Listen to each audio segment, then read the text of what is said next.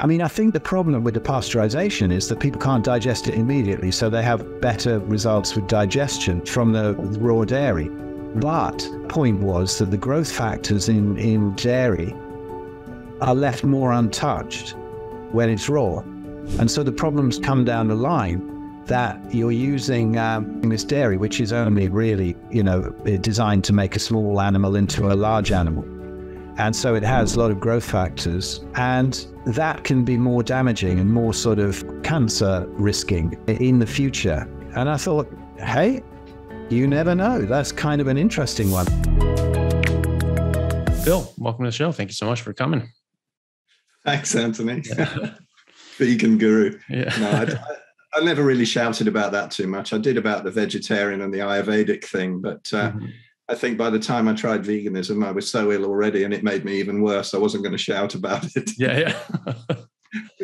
well, that that's um, yeah. I mean, that that's interesting. You know, transition into it anyway. You know, because you you were saying that you actually wrote several books on plant-based nutrition in the 90s so this was something that you were very much into and you were doing yoga and so forth and just because being part of that culture, you know, was all about being plant based, and and so you got into that. If I if I'm not mistaken, can you tell us uh, about that? How, how you basically uh, came came around to the to the light?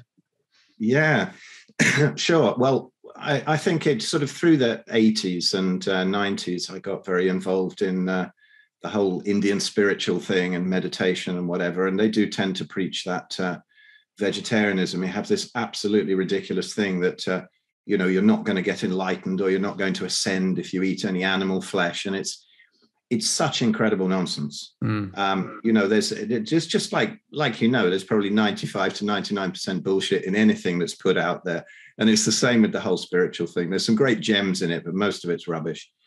But i got caught up in that and i started to study the whole um, Western interpretation of Ayurveda, which is uh, you know Ayurvedic medicine, and it's it's it's completely misinterpreted because, like we said on our last chat, it's um, you know they they they say that it's the meat is is is like nectar, it's like amrit, it's the meat of freshly killed animals, the most nourishing thing for the body.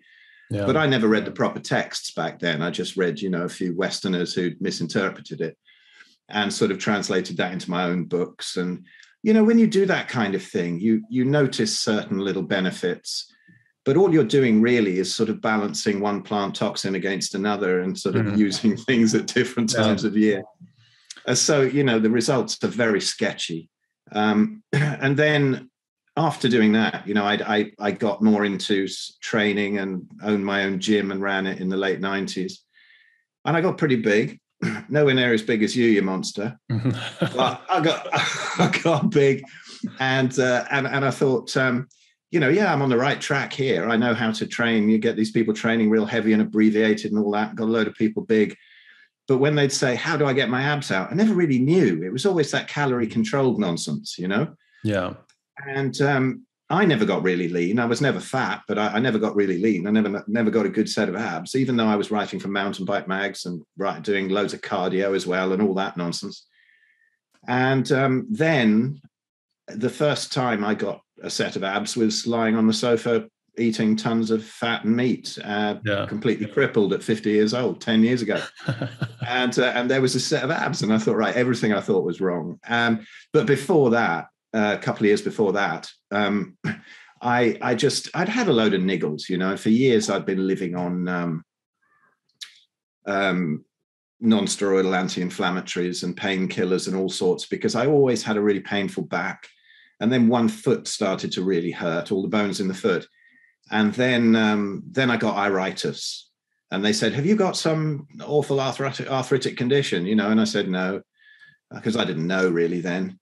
I just thought I had a painful back, you know, and I was always at chiropractors so much that I'd learned almost all their moves. And in the gym, I used to be able to just adjust everybody because I'd learned it. And half my yeah. friends were chiropractors. I spent so long there. Um, but then, um, you know, it, was 2010, just come back from Thailand, a holiday in Thailand. And um, one ankle just blew up. And I thought, I think this is an old injury that I had from um, uh, falling off a climbing wall years ago and really wrecking that that ankle. And um, I thought I didn't think much of it. I thought it's a bit weird. but then the other ankle blew up and then the knee came up like a balloon and then my neck went i couldn't move that you know and it just went through all my body yeah. and eventually you know they said oh it might be reactive arthritis and that'll disappear and but we'll have to wait and see. I mean surely isn't every arthritis reactive arthritis? Yeah. it's reacting to something right? That they don't know. So anyway it didn't disappear. And then i thought well i'll try their drugs. And i tried some steroids and it's marvelous isn't it really? Because after three days you're kind of normal. You yeah. think oh i'm cured. And it's it's a, a, a absolute false hope. Yeah. Um, and then they, I wouldn't take the methotrexate, but they did say um, you should take uh, try sulfasalazine. So I tried that, and it took me back to my sort of overdosing on psilocybin mushroom days in 1979 and i just I, ended up having these horrendous psycho experiences and i thought i'm not i'm not having that so i got rid of that as well and then i just thought well i've got to fix myself these people have no idea obviously yeah. And um, so I started, first of all, I started fasting. And that does help, you know, obviously, because you're not eating anything and you get this lovely remission from it. Mm. And I just, I thought, well, everything I've written in books, everything I've, um, everything I've been taught is nonsense. So I've got to throw it all out.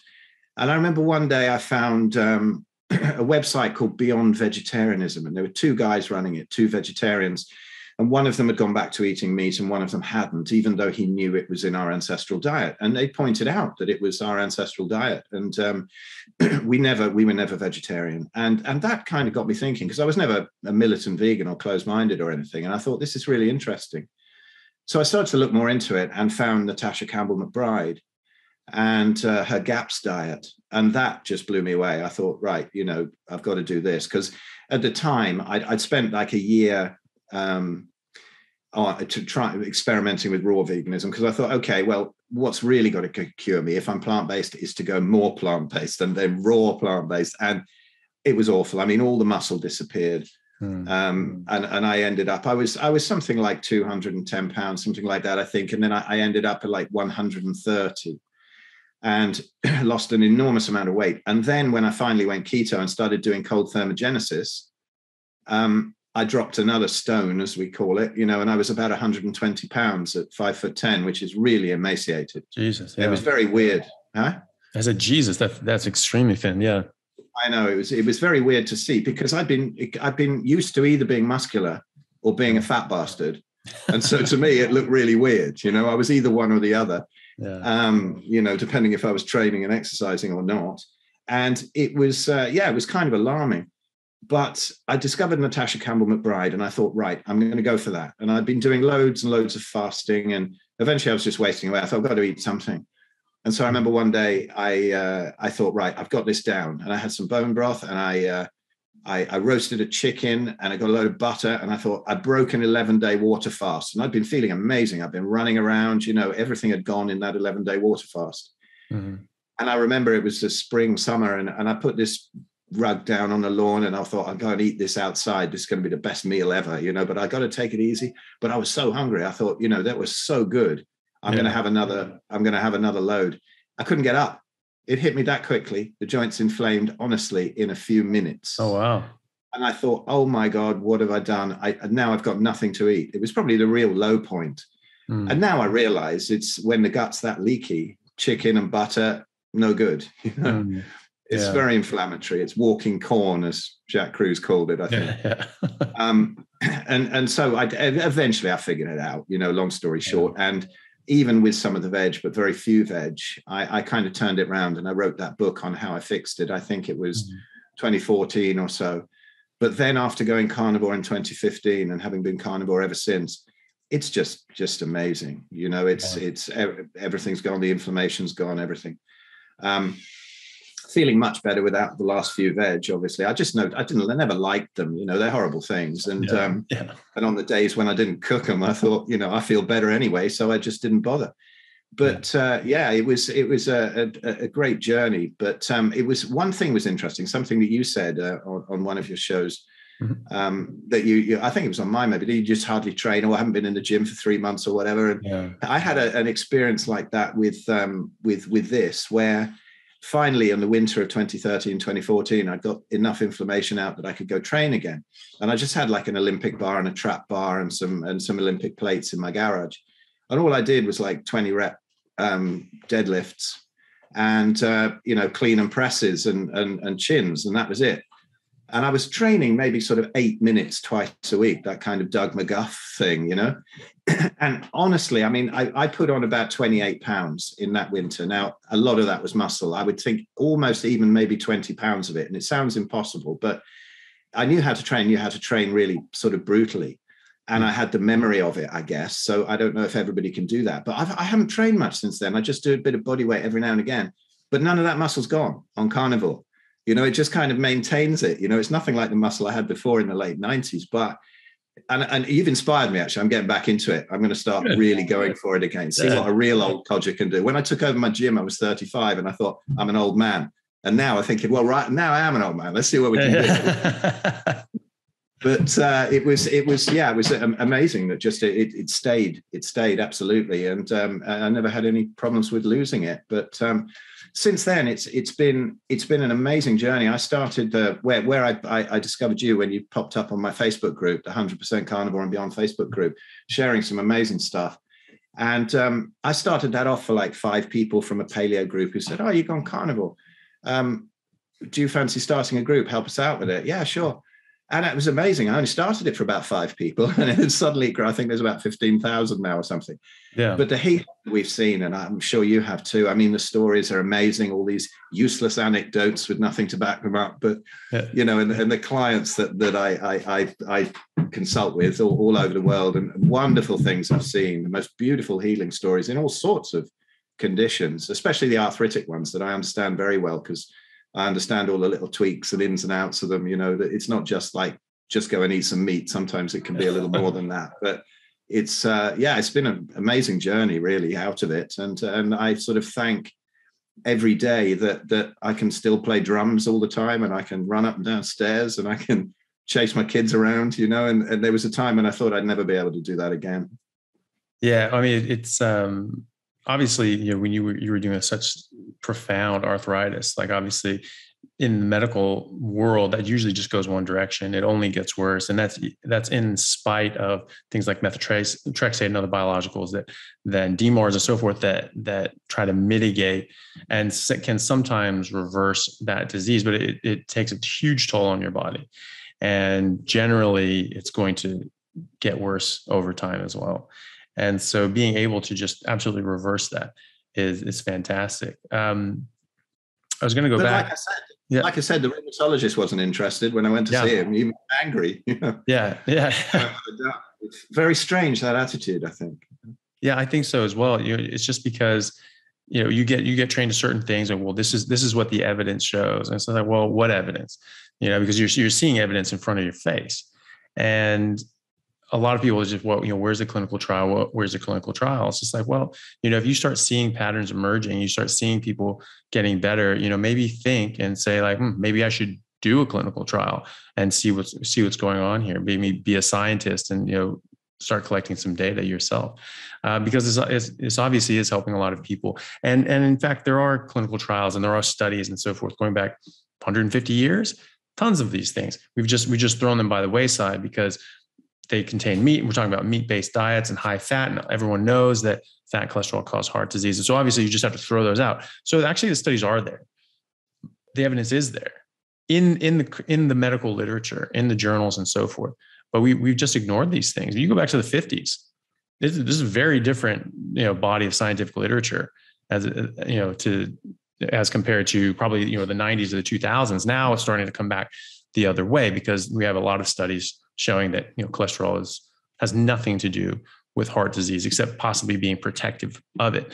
And so now everything's being being sort of reversed that way. But this is this is stuff we knew for quite some time in the scientific literature and in just in just uh, you know folklore and so forth. And uh, so it's it's good that we're sort of rediscovering that and that people like yourself can just do that through their own personal journey and then help other people um, did you did you come to like be a full carnivore just just on your own progression, just trying different foods and see what worked for you, or did you you know did, get influenced by anybody, or was it purely your own sort of journey? No, well, I, I kind of did it quite early in this cycle of it. I mean, I, I think I found a, a website called Zero Carb Zen, And right. there was a few people doing it on there. It's, it's a good little website. It's got some inter- interesting info articles on, you know, why people have problems with pork and, and the vitamin C myth and all of that kind of thing. Yeah. Uh, which yeah. sort of puts people off. They think, oh, I'm never going to get, I'm going to get scurvy. Yeah. I've never, I've never seen anyone with scurvy yet. But no. um, so I, I found that, but there was there was none of this sort of you know big shout about it with Mikhaila and, and Shawn and, and, and all of that kind of thing. Mm. Um, so so I just I, I just found that I, I didn't need it. I I I felt so much better without it, and I've never liked it. Yeah. And you always get that tray, you know, it's just called the compost tray in our fridge, and and you put stuff in there, and then it rots, and then you put it in the bin, and then it then you, then you replace it. And I'm just yeah. glad to see the back of that, you know. Yeah. Uh, it's and and and I bring my kids up like that. You know, you met my little one on on mm. our last chat, and and he keeps arguing that he's had broccoli once, but I don't remember. Yeah. yeah. he's uh, he's not had vegetables. You know, they're never in the house. I don't mind yeah. if they eat fruit. I, ge- I generally put it in their lunchbox so that the the dinner ladies don't report me to social services or yeah. something. so they have, bit, they have, a bit, of fruit and they have a bit of uh, and they have a load of meat. Yeah. And they'll eat the meat and then the fruit, it hardly ever gets eaten. It just comes back and it goes in the bin. So it's a waste of money anyway. but you know, and then then they'll shout for some chocolate, and I don't mind that. If they're if everything else they're eating is meat, they can have that now and again. I don't mind. But uh, you know, they're not sick but uh, yeah, it's it, it, it, didn't. There was nothing really that influenced me. But then I started to look into all the just uh, the anthropology really, and it just made mm. sense mm. because I think if you study, I keep saying to people, if you study sort of circadian biology and you study sort of um, the cycles of nature really, and what nature would give you at a certain time of year in your latitude, and yeah. then you um, and, and then you study anthropology, what we've actually eaten from the bone isotope records and whatever look at indigenous tribes and what they eat. And then I think that the, the, the whole rabbit hole of deuterium. Got, I was going to say to you, you know, you've, yeah. I won't I won't go on about it this time, but you've got to get my good friend from the Red Pill guys, Graham Norbury, on sometime and, and go down that rabbit hole because he's utterly brilliant on that. He just uh, he's got one of those science boffin heads that I don't have, you know, and he can explain it all. But it's really interesting how it ties it in but if you look at those, then it's and the plant toxins, of course, and then it's just it's a no-brainer, isn't it? You can see what's mm. happened yeah. with this horrible misinformation. I just find it so sad that you know the mainstream has pushed this five a day. The vegans are pushing all this complete nonsense. Mm. And it, it, it just goes, it, it filters down to other people. I, it's what I love is when somebody comes to me who's been eating McDonald's and fries and stuff, and they say, Right, I've got psoriatic arthritis or something. And I say, Well, you can eat steak all day. And they go, great. But when you get a vegan come to you and, and I'm really crippled, and, and you think, I've got three months of deprogramming here before they're even yeah. going to consider it, you know? Uh, that's sad, but yeah. it holds up a lot of people's healing. Yeah, I've, I've found that, um, yeah, if, if people will engage and, and actually have a serious conversation, even if they, even if they are really on the other side of it, and you know, well, well, what about this and what about this, and they, you know, they're trying you know they think that they have a lot of solid information on the vegan side of things. I find that if I, if they will actually engage even if it's aggressively um, i can get them and i have i have a 100% kill rate so far for vegans and vegetarians that in in just personal personal sort of one-on-one sort of debate and and uh, and discussion. And wow, uh, the vegan the vegan whisperer. Yeah yeah exactly yeah. and uh, yeah i had um i had one I think I mentioned this. She was uh, finishing her PhD in nutrition, and we just went point for point, study for study, over actually a course of you know days and so forth. We we were texting and talking and so forth, and finally got to the point where she just was sort of stunned silence and just said to me, "My entire education was a lie." You know, it's a lie. Like I know it's a lie. You, have proven it to me. You show me the studies. You show me the evidence. Like this was all a lie. I don't even know if I can work as a nutritionist because it's a lie. Because as a nutritionist, you have to pitch the textbook, and the textbook is pitching low fat, plant based diet, high in carbs, high in sugar. And she was like, I know that that's wrong. I know that this is causing people harm now. Like I, I don't, I don't even know if I can work as a nutritionist now. She doesn't. She actually became like a, a health coach, like a life coach sort of thing, uh, and you know, use her credentials to, um, you know, give her some credence. But you know, I've I've found that people can be receptive because so many people are, you know, like you, you, you got into it for a very specific reason. You thought it was the right thing to do. You were around a lot of people that were influencing you. And a lot of people do that as well. They, they go, vegan or vegetarian for a, you know a good reason to them you know they and they you know think about it no no one just changes their entire life like that and goes in such a restrictive uh, way of eating just just because you know they've they've thought about this they've worked on it. it's like maybe for their health maybe for the environment maybe for animal rights and so forth all of which can be uh, actually shown to be beneficial on a carnivore diet as opposed to a vegan diet you know uh, paradoxically it seems in some of these cases but because they've come they've generally come from an honest place if you have an honest discussion and show them the evidence they can come around it's it's the people that you know see or maybe maybe have made a name for themselves in that community and now basically if they if they go back on it they're going to lose their their income and so they're the ones that are really just die hard on this and they just they just won't listen to sense maybe they they know full well but they're still going to pitch it in a way. And, and, a lot of these people do get caught. They get caught, you know, these vegan influencers and so forth with hundreds of thousands of followers, just talking about vegan this and vegan that, and how healthy and wonderful it is. They get caught eating, you know, you know, sandwiches and hamburgers and things like that because they're just, you know, they're wasting away. And so, you know, hopefully, you know, the more voices like yours and um, and so forth that get out there just more people will see this and see this because a lot of people have a vested interest in their in their own lives and health and a lot of people think I, I speak to doctors all the time who are generally overweight and they say like, oh well people are just you know fat sick because they just don't listen to the advice. They just eat too much fat and do all this. I'm like no that's the problem is they did listen and the advice was bad. And so now that we're getting more more better advice out there you know people are people are really benefiting from this and it's really good to see. Um, you have gone through quite a lot of other other health issues as well. And and with your clients and even with yourself and with your mother have even uh, addressed and benefited recovery from things like uh, cancer. Is that right? Yes i've um i that was a great story with my mom. Um yeah. basically she um i was looking after her for ages. Just one sec. little little Peter's kicking this football around, he's making a proper rack. He's kicking. Their school's been shut because of the storms, and so he's kicking a football around in the living room. Yeah. Uh, yes, my mum. She was um, when she was in her nineties. We. Um, she said to me one day, "Oh, I've got this lump in my breast." I'd been looking after her. She had a stroke in '96 or so, when she was on statins, of course.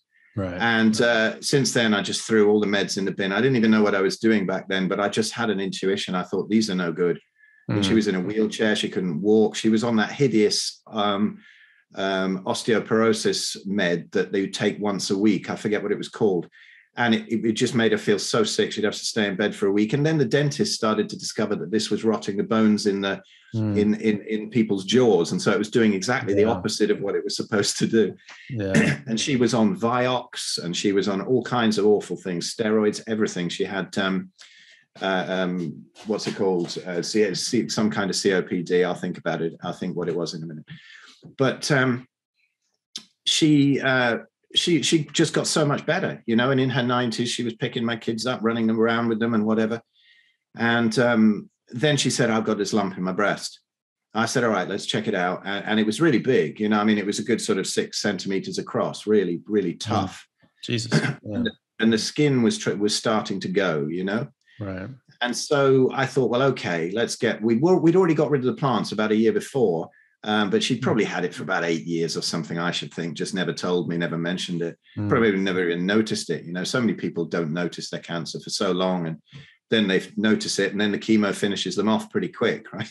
Yeah. but but the, she, anyway, she, uh, she, she had this lump. And um, so uh, with the gastroenterologist story that, that I, I, put up at some point, I think I, t- I told you or whatever, where you know he agreed with me that she should be on this sort of gaps type diet and high fat and whatever and that that stopped all the reflux and issues like that and so i just sat her down and when she got diagnosed with this and i sat her down and and, and showed her the truth about cancer or the first mm. program of it now I, I think that guy's a bit off base because you know he's always going on about plant-based stuff and he does have some people who's had reversals on there and whatever and and people do it, it tends to come back later when you do that but um, do it that way around but I, at least it showed her that people had done it in some other way and she said let's go for it Yeah. So I said, okay, let's do it. You know, and we got a completely carnivore, except for the occasional bit of Greek yogurt and berries, and and um, she she went completely carnivore pretty much. And then I tried the um, the the proper Rick Simpson oil on her, you know, and so I went and bought it, and I realized it's it's just so absurd that you can get seven years for that because it's uh, it's it's sort of processed. They class it as a class A drug. Absolutely insane. So I was buying her this stuff, you know, and and um, just giving her little bits and whatever. But she was getting really mashed. Mm. And she had this little flat nearby. Um, we used to live in the same big house, but it just became too much for a while looking after her and whatever. So got her this little flat close by, this little apartment. And uh, I, I went around there, you know, and one day she was sweeping the lawn and, and I thought, what are you doing? And she went, I don't know. And I thought, I can't, I can't leave her alone, really stoned all day at like 19. she was so stoned. And it, but it was actually, it was actually reducing. But um, I thought I can't do that. So I thought we'll try something else. We took her off that. And um, and then it sort of stabilized a bit, but it wasn't really going away. And we tried everything, all the Essiac tea and, and all the reishi mushrooms and all that kind of thing really throwing everything at it. Nothing really worked. And then one day I had this intuition, and I just thought, so many times I've heard about people with fibrocystic breast syndrome just painting breasts with iodine and, um, and, and taking iodine, going on an iodine protocol, and this reverses it. There was a friend of mine who wrote for my blog. You know, he wrote, she wrote an article on this. Great musician actually, and she wrote under a pseudonym for my blog because she said that when she, she went to to hospital with all these uh, uh, lumps, none of them were, were cancerous, but said it was like a bag of marbles. She had more more lumps than anybody had ever seen in there, and she just kept painting it with iodine. They all went away. She didn't take any medication, and uh, she didn't even do a, an iodine protocol uh, drinking it. I don't think, but um, I just thought, well, hang on, if this has worked for that, and it's working for these hormonal things for women and you know there's so many thyroid conditions around that seem to be really fixed by this you know replenishing the iodine let's give it a go so i put her on an iodine protocol and it was for about three months and i'd read that um, uh, it didn't work. It, it, often didn't work while you were on it, but when you tailed off it, often two or three months after that, the, the, the tumor just disappeared. And I thought, ah, well, okay, maybe it's worth a go. And you know, the oncologist, her oncologist, who kept trying to get her to take drugs and she wouldn't, and was getting very frustrated with her um, and me because obviously he thought I was a complete lunatic. And so he he was saying, you know, well, we probably have to uh, operate at some point, you know. And then I I actually gave up after that iodine protocol. I, I'd kind of given up, and I thought, well, maybe I'll, I'll just take him take her down and say, you know, can you do this under a local if it if it ulcerates? because she's not going to take a general anesthetic now.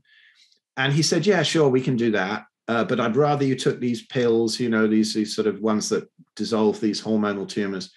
Um, because she had one little one on the lung or something, little one on the liver, and we, then that can be a gauge as to whether the other ones are disappearing as we get it to disappear with the drugs. And so I said, no, we're, we're not going down that route because she did try them for about a week, and there was loads of forums of, of real pain in ovaries and, and womb and whatever and uh, people sort of having very weakness in their legs. And so I thought, well, all right, I'm open to anything. Try it for a week. Try it for a week. She, he said, no, it's it's totally safe and everything. Indian doctor, and I, and I researched and I said, you know, this stuff's been banned in India. When I took it, no, I didn't know that. I said, yeah, because of all these issues that you're claiming don't happen. I found forums full of women saying tremendous pain here, you know, uh, pelvic area, loss of, of, of, of function of the legs. And so what happened? She was on it for a week, and then I went around there and she'd fallen over in the bathroom, broken her wrist really badly. You know, I'm like, no, right, that's it. That's enough of this stuff. You know, she'd already said that she was starting to get pains down in the pelvic area, and and so it was like a week. And so I left her. I got got her off those things, and then I thought, okay, well, I, I've given up. At least we can get this out on a local and then I just forgot about it for a while. I just said to her, "Look, just I, I wasn't looking at it. I wasn't painting it with iodine. Nothing. We'd we'd finished all that." and and and I said, "Okay, well, let's um, just tell me if if it if it ulcerates through the skin, if it gets painful or whatever, and and then we'll see if we can get this taken off." And this went on for a long time. I thought, "Well, what's happening?" And then one day she said, "It's going away." And I said, "No, I, I, I can't believe you. You know, let's have a look." And honestly, I mean, you can see the pics on the, that little video I've got where it's reversing. You know, some vegans have come to me and said, "You reversed the pictures," because that could never work. But uh, yeah, it was horrible and sort of uh, like uh, purple and coming through the skin, and then it all went back to the skin went back to normal, and the the, the tumor started shrinking, and she was fine. Now, it, it, unfortunately, about two years after that, she got two bouts of um, uh, of pneumonia, and the second one took her but the, the, the the breast cancer never did, and it was shrinking all the time. And I, it, whether it would have gone or not, I, am not that concerned. I mean, maybe it leaves some lump somewhere or something. The lumps are not the problem, right? The process is the problem, you know. So, but anyway, well, as you can see, all the skin came back to normal and whatever, and and, and the lump reduced a lot. And uh, and and I'd like to have seen the, the the culmination of that, but we didn't get a chance. Um, but uh, yeah, it was it, it, was lovely, and, and uh, as I said, it's one of the most satisfying moments of my life when that oncologist turned around and said, "How on earth did you do that?" it was lovely. It totally disarmed. He was actually a lovely guy. He wasn't one of those arrogant guys. He, he, he really did think that I was mad, but he was kind of cool with it. And do you know what? This is what I find with docs. The nearer they get to like emergency room docs or surgeons, the more open they are. If they if their if their livelihood doesn't depend on the drug peddling, you know, and he was more of a surgical oncologist.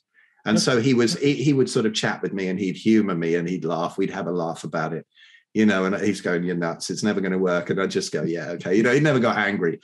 so to his credit, but he was completely disarmed when he saw that. And uh, I, I, just love to see it. I love to see it again and again. These docs waking up and just, you know, to, to add to the amazing knowledge that you've got from medical school and then filter out what is great knowledge and what is rubbish is mm. so important these days i think. You went through a bit of, of troubles this past year and uh, thankfully straightened things out.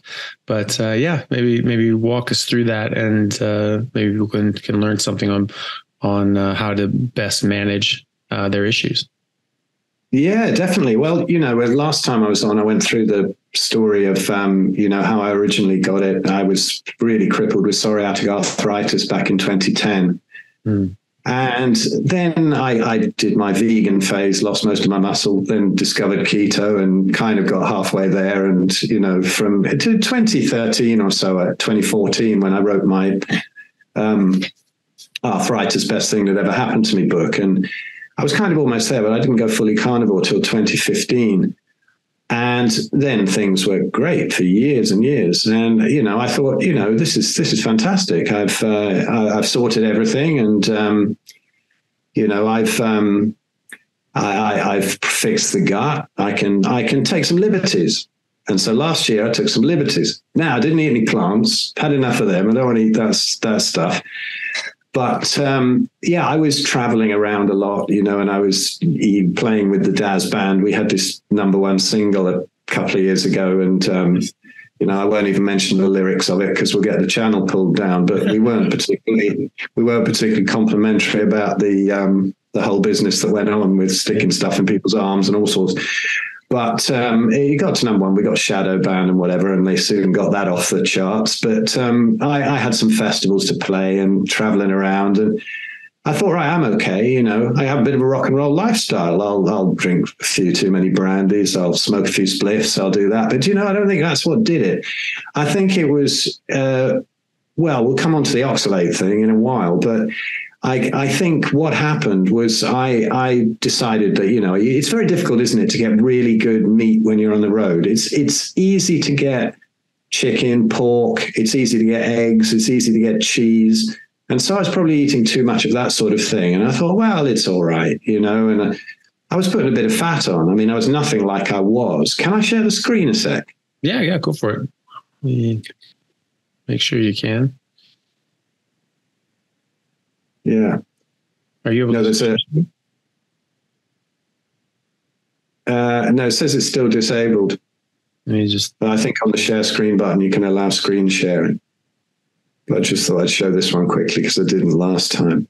Okay, I, I think I've given you. There we go. There. Can you see that? Yep. yeah, wow. Well, that, yeah. that was um, that was me 2010 on the left, probably 2011 on the right. And that was when I, I'd really messed up. I'd never shown the before or after before, but you know that was that was the last time. It's funny. Around that time, my my um, ex-wife um, went to um, India and went to see an Ayurvedic doctor, Vaidya, and showed a picture of me and said, and he said, some people can stay healthy when they're a bit overweight, but he can't. Give him a few years and he's going to be really, really sick. Well, I didn't really take that into account. I didn't know what to do about it in those days anyway. Um, and so um, he was right that was probably I don't know 2005 or something. And so 2010, yeah, I was in real trouble. There it was, and then I kind of went vegan, and then discovered the keto thing. But I mean, that's 90 pounds down in about I don't know eight months or something like that. Wow. And it, it, was just after that picture was taken that I got really, really sick. But anyway, I've, I've seen that. I'll get rid of that thing. But um, yeah, so I I I kind of put on a bit of weight last last year. Nothing nothing like you know I still had a flat stomach and whatever, but it was in the back of my mind. I thought, I wonder if I'm just not designed to carry any fat. You know, eating dairy and stuff like that, it, it, it can do it. And then I came back from the last festival, and a few days a few days later, it was a real stressful year. Loads of money weirdness and selling rental houses and sales falling through, and it was one of those hideous years. You know, it probably all of it added up. But you know, I started to get some bit of a, a sort of uh, niggle in one knee. And I thought, well, do you know, if I ever eat anything wrong, all I need to ever do is just do a day's fast and then come back onto the program. Disappears. I'll be fine. It did not get fine. And it was like, it wasn't a flare, it was a supernova, you know, and I, I, I dropped 45 pounds that I didn't want to drop at the time. I was 165 pounds, went down to 120 pounds. I was completely emaciated, uh, five foot 10. Wow. And um, I was confined to the sofa. You know, I couldn't stand. I was on crutches if I did. I, I, I was, um, the pain even at rest was horrific. Uh-huh. Um, but I thought, ah, well, you know, whatever's happened. And it started off actually uh, uh, late last summer with a kidney stone. And I thought, but I haven't taken any oxalates for ages. Just the odd, like over again, over this last year, the odd cheat with a bit of chocolate or something. Mm-hmm. I thought that's not enough to do that. And I had Sally Norton on my podcast a little while ago, and I said to her, "Well, is it possible, like eight years into carnivore, you could have a real oxalate dump?" Mm-hmm. And I don't know. It's just one of the theories. And she said, "Oh yeah, it is." So I wondered, with the if it hadn't have started with a kidney stone, I wouldn't have thought anything of it. Mm-hmm. But I did. And I was lying on the sofa there and I thought, I'm supposed to be this carnivore sort of arthritis guru. And here I am wasting away in tremendous pain. This is embarrassing, man anyway, it was it was lucky actually because I mean previously it took me about three years to get out of that mess, and this time it took me about three months. Mm. But it was uh, because I had the confidence. You know, and this this is a kind of a, a, warning to to autoimmune people, and and I was chatting to Zsofia as well. You know, yesterday on my podcast as well. It's going to come out soon. We're in a real deep dive into autoimmunity, and I think I think she's honestly right, particularly about dairy you know, you can get the odd flare from pork and chicken if you're autoimmune, if it's bad stuff. But mm-hmm. you know, dairy, I, I am starting to. Re- I've always thought it's kind of dodgy and advised anybody who comes to me for a consult not to do the dairy. But you know, Zsofia saying that um, even a few molecules can keep it going, and you know, it can it can have it repercussions for years if you filled yourself full of dairies. Mm-hmm. Absolutely fascinating with all the the sort of growth factors in it but yeah, I just had to go completely PKD, fully beef lamb, fatty beef lamb, salt and water, and that's it. And gradually, gradually, it it it, it uh, turned itself around. But you know, I see a lot of people who are who go beef lamb, salt and water, and it doesn't stop immediately. You know, it's like stopping a ferry, isn't it? even if the gut's healed, you can still have these sort of repercussions of it, sort of um, little flares along the way, and it goes up and down, up and down. And it's to really give people confidence that you know they, it, it, was. Yeah, at one point, my my missus, who is a who is a nurse, she took some bloods, took them down to the doctor. I, I didn't want their interpretation on me. You know, I, I, wanted to look at them and, and I wanted to send them to Zsofia as well to, to check there's nothing really horrific going on um, you know, beyond the autoimmunity that I'm familiar with. And of course, the docs, you know, they called me up and everything. They said, "No, you probably got cancer and all of this. This is really bad. This is, you know, the, the GP. Said, "Look, I haven't." And listen, even if you've lost that much weight in that short time, yeah, you probably got cancer. Okay. Like, you know, no, no, I haven't. I said, I know what's going on here. And um, even if I did have cancer, I'm not going to do anything that, that you recommend. So just thanks, thanks for the results and all that, you know. I'll uh, I'll send them to Zsofia, and she said, "Yeah, you know, it's it's just horrific inflammation." But I mean, to give you an idea, my CRP when I wrote that book was like, well, when I wrote the book about the times when I was sick before, it was like when it was tested, it was like about 85, which is horrific. But back in November last year, it was 192 CRP. That's crazy. Hey guys, just want to take a second to thank our sponsor, Carnivore Bar. I don't promote many products because honestly, all you need to be healthy is to just eat meat for those times that you're out hiking, road tripping, or stuck at work and you want a nutritious snack that is just meat, fat, and salt if you want it, the carnivore bar is a great option.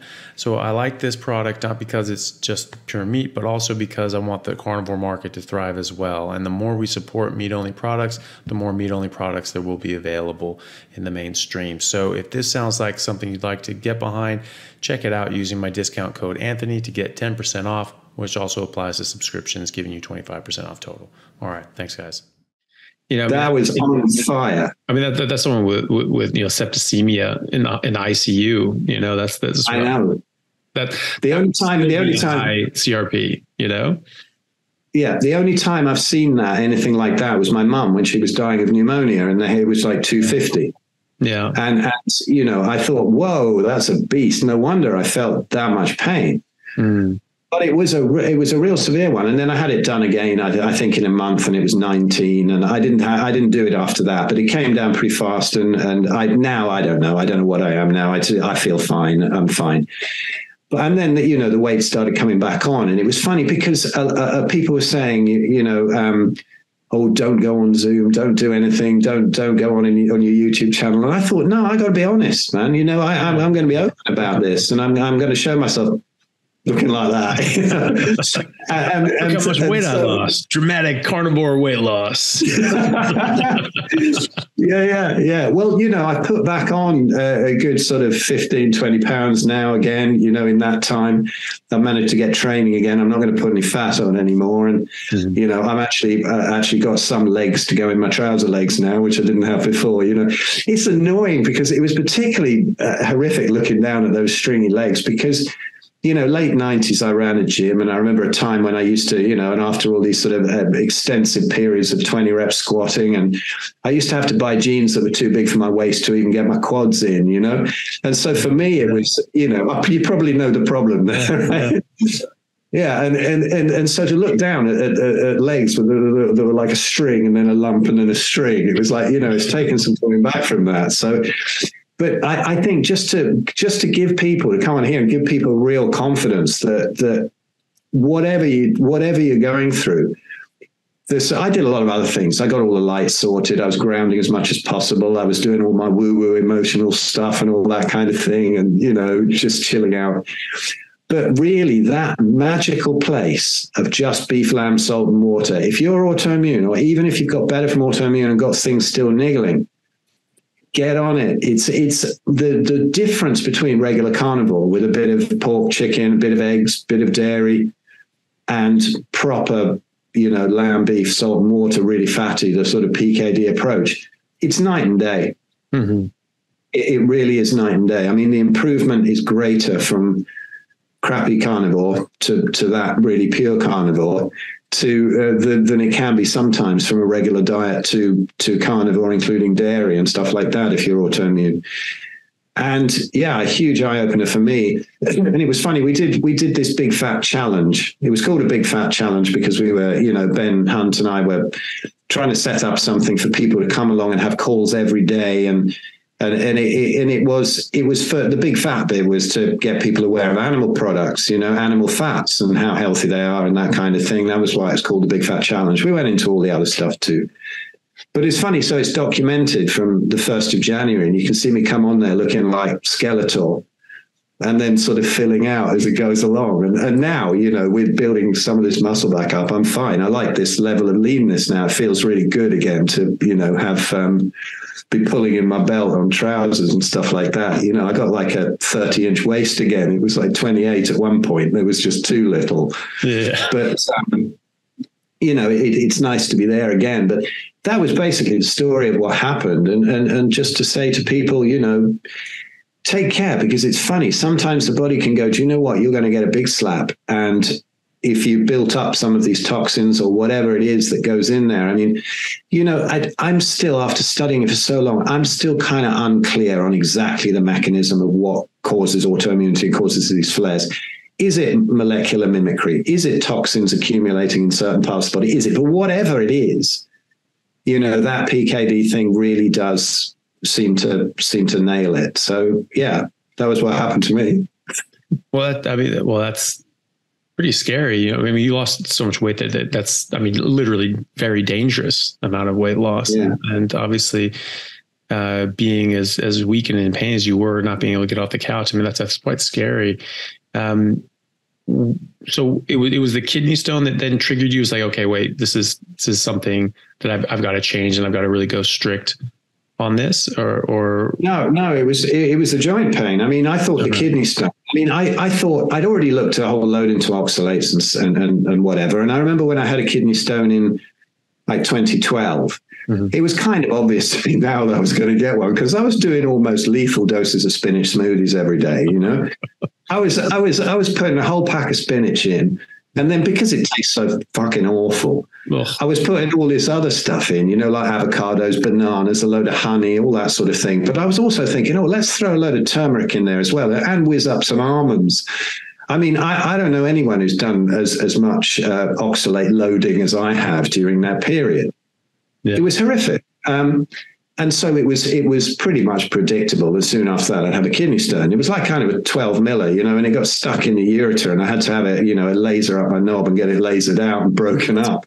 it was it was uh, and then I thought, hey, great, I'm free of that at least, you know, I've got rid of it and whatever. But I'm thinking if I was dumping oxalates back then, if oxalates, if oxalate dumping is an actual thing, which mm. again, I'm I'm I'm I'm, I'm sort of I, am open-minded to because I Zsofia yesterday was going, oh no, it's not it's not like that, it's not an issue. And I had Sally on, you know, mm. who's saying, Oh yeah, of course you can dump, you know, and have all these horrific issues.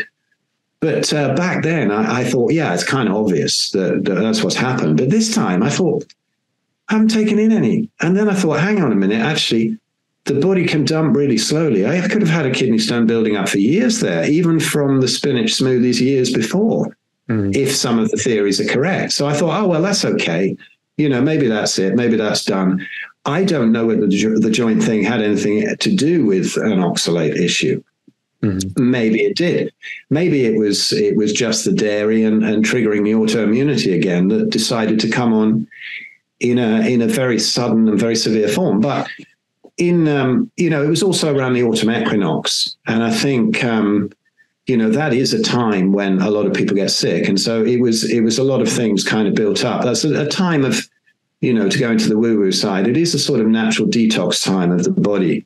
Mm. and and i think a lot of people get sick around there which is why you know some people some people not that they ever have of course but some people might be able to around that time maybe say fake a pandemic or something like that. But um you know, this uh, this sort of thing can happen around that time. So, you know, who knows who knows what it was, but uh, hopefully no more kidney stones. I mean, I did have a scan on it. I tell you what, it was it was quite cool actually when I went down with the uh, for the for the kidney stone thing, because I thought I, I was in real pain.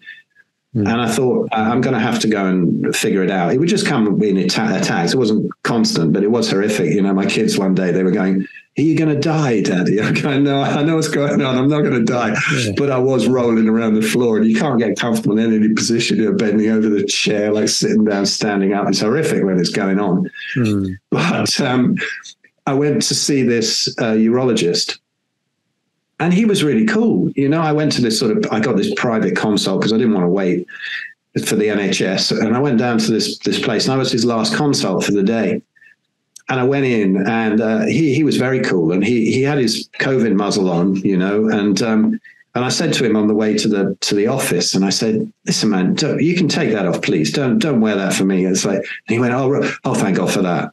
You know, we had a chat, we had, we had a chat about all that stuff. Well, I thought this guy's pretty cool. Yeah. And um, you know, I was I was it was before the joint thing hit, and so I was really jumping around, perfectly mobile, looking healthy, and all that. And um, and I got chatting with him, and you never get this with an English doctor. You get two minutes, five minutes, or whatever. Mm. We were there for an hour and a quarter chatting about carnivory. Nice. It was amazing. And he was brilliant. And, and and then he said, you know, thank God for that. You know, I, have got something now. I can tell my um, my secretary who is uh, who's a vegan. You know, and then he told me later. He told me later that um, his secretary had been following my channel and everything, and, and was oh, wow. was starting to come around, and he was starting to come and really, really getting into it. And then I put them onto your channel, and he'd been watching, he'd been watching you, and he'd been watching Shawn and all of that, and it was really cool. But anyway, he told me, yeah, you know, you, you, it's one kidney stone, that's it. There's no sign of them anywhere else. So I thought, right, okay, got rid of that one. Um, and uh, no bother. So, but it, it is interesting to think that even after all these years, if Sally's right and some other people with these um, with these plant toxins, because I mean, I, I, often share your plants are trying to kill you video because you've just nailed it there. I mean, I thought I knew about plant toxins, but uh, you know that's a popular one to share with people. but it, it's years later that you can still suffer the repercussions of, of, of, these things. And and that's no reason not to go carnivore. I mean, mm. you, you, know, there's a there's a there's an old saying, isn't there? The best time to plant a tree is 40 years ago, and the next best time is today. so so so just do it. You know, even if you're going to get these issues, you get through them. But um, wow, yeah. So here I am, the, the the the ultimate example of how to poison yourself properly on veganism and how long it can go on. Yeah. Well, yeah, well, I mean, it's a good, it's good, it's good testimony as well, and and also, you know, I mean, we, we sort of you know, says a cautionary tale. I think it is, you know, because there there are some people like yourself and and others who are are just very very sensitive and uh, to anything outside of that PKD diet, just the red meat and water diet. Even even other meats and dairy, especially, I've I've seen a lot of that with patients with dairy. They don't they don't handle it very well on a on um, autoimmune when they have autoimmune issues. You know, even uh, Mikhaila Peterson, you know, she says that you know she has pork. It's like worse than if she eats fruit. You know, she she really yeah. reacts badly to it. And this is years, years and years and years down the track. So, you know, I think it's, you know, it, it is difficult to say exactly what's causing these sorts of things, but whatever it is, it's in the food and, uh, and eliminating that and just going just, just to, you know, beef, lamb, salt and water seems to help. And you know, some people are a bit more stubborn. They need you know grass fed beef or lamb, and uh, grass finished, I should say, beef or lamb. But um, you know, whatever it is, it's something in there and something we're reacting to, and something that's that's causing harm, and just something that that people sort of need to remember is that if you have one of these sensitivities, and you're a bit more sensitive to things, you know, yeah, I think I think just beef, lamb, and water is probably the best thing that any of us could do. I don't have any of those problems, but I I feel way better just eating that. And that's so that's why I naturally prefer to go to.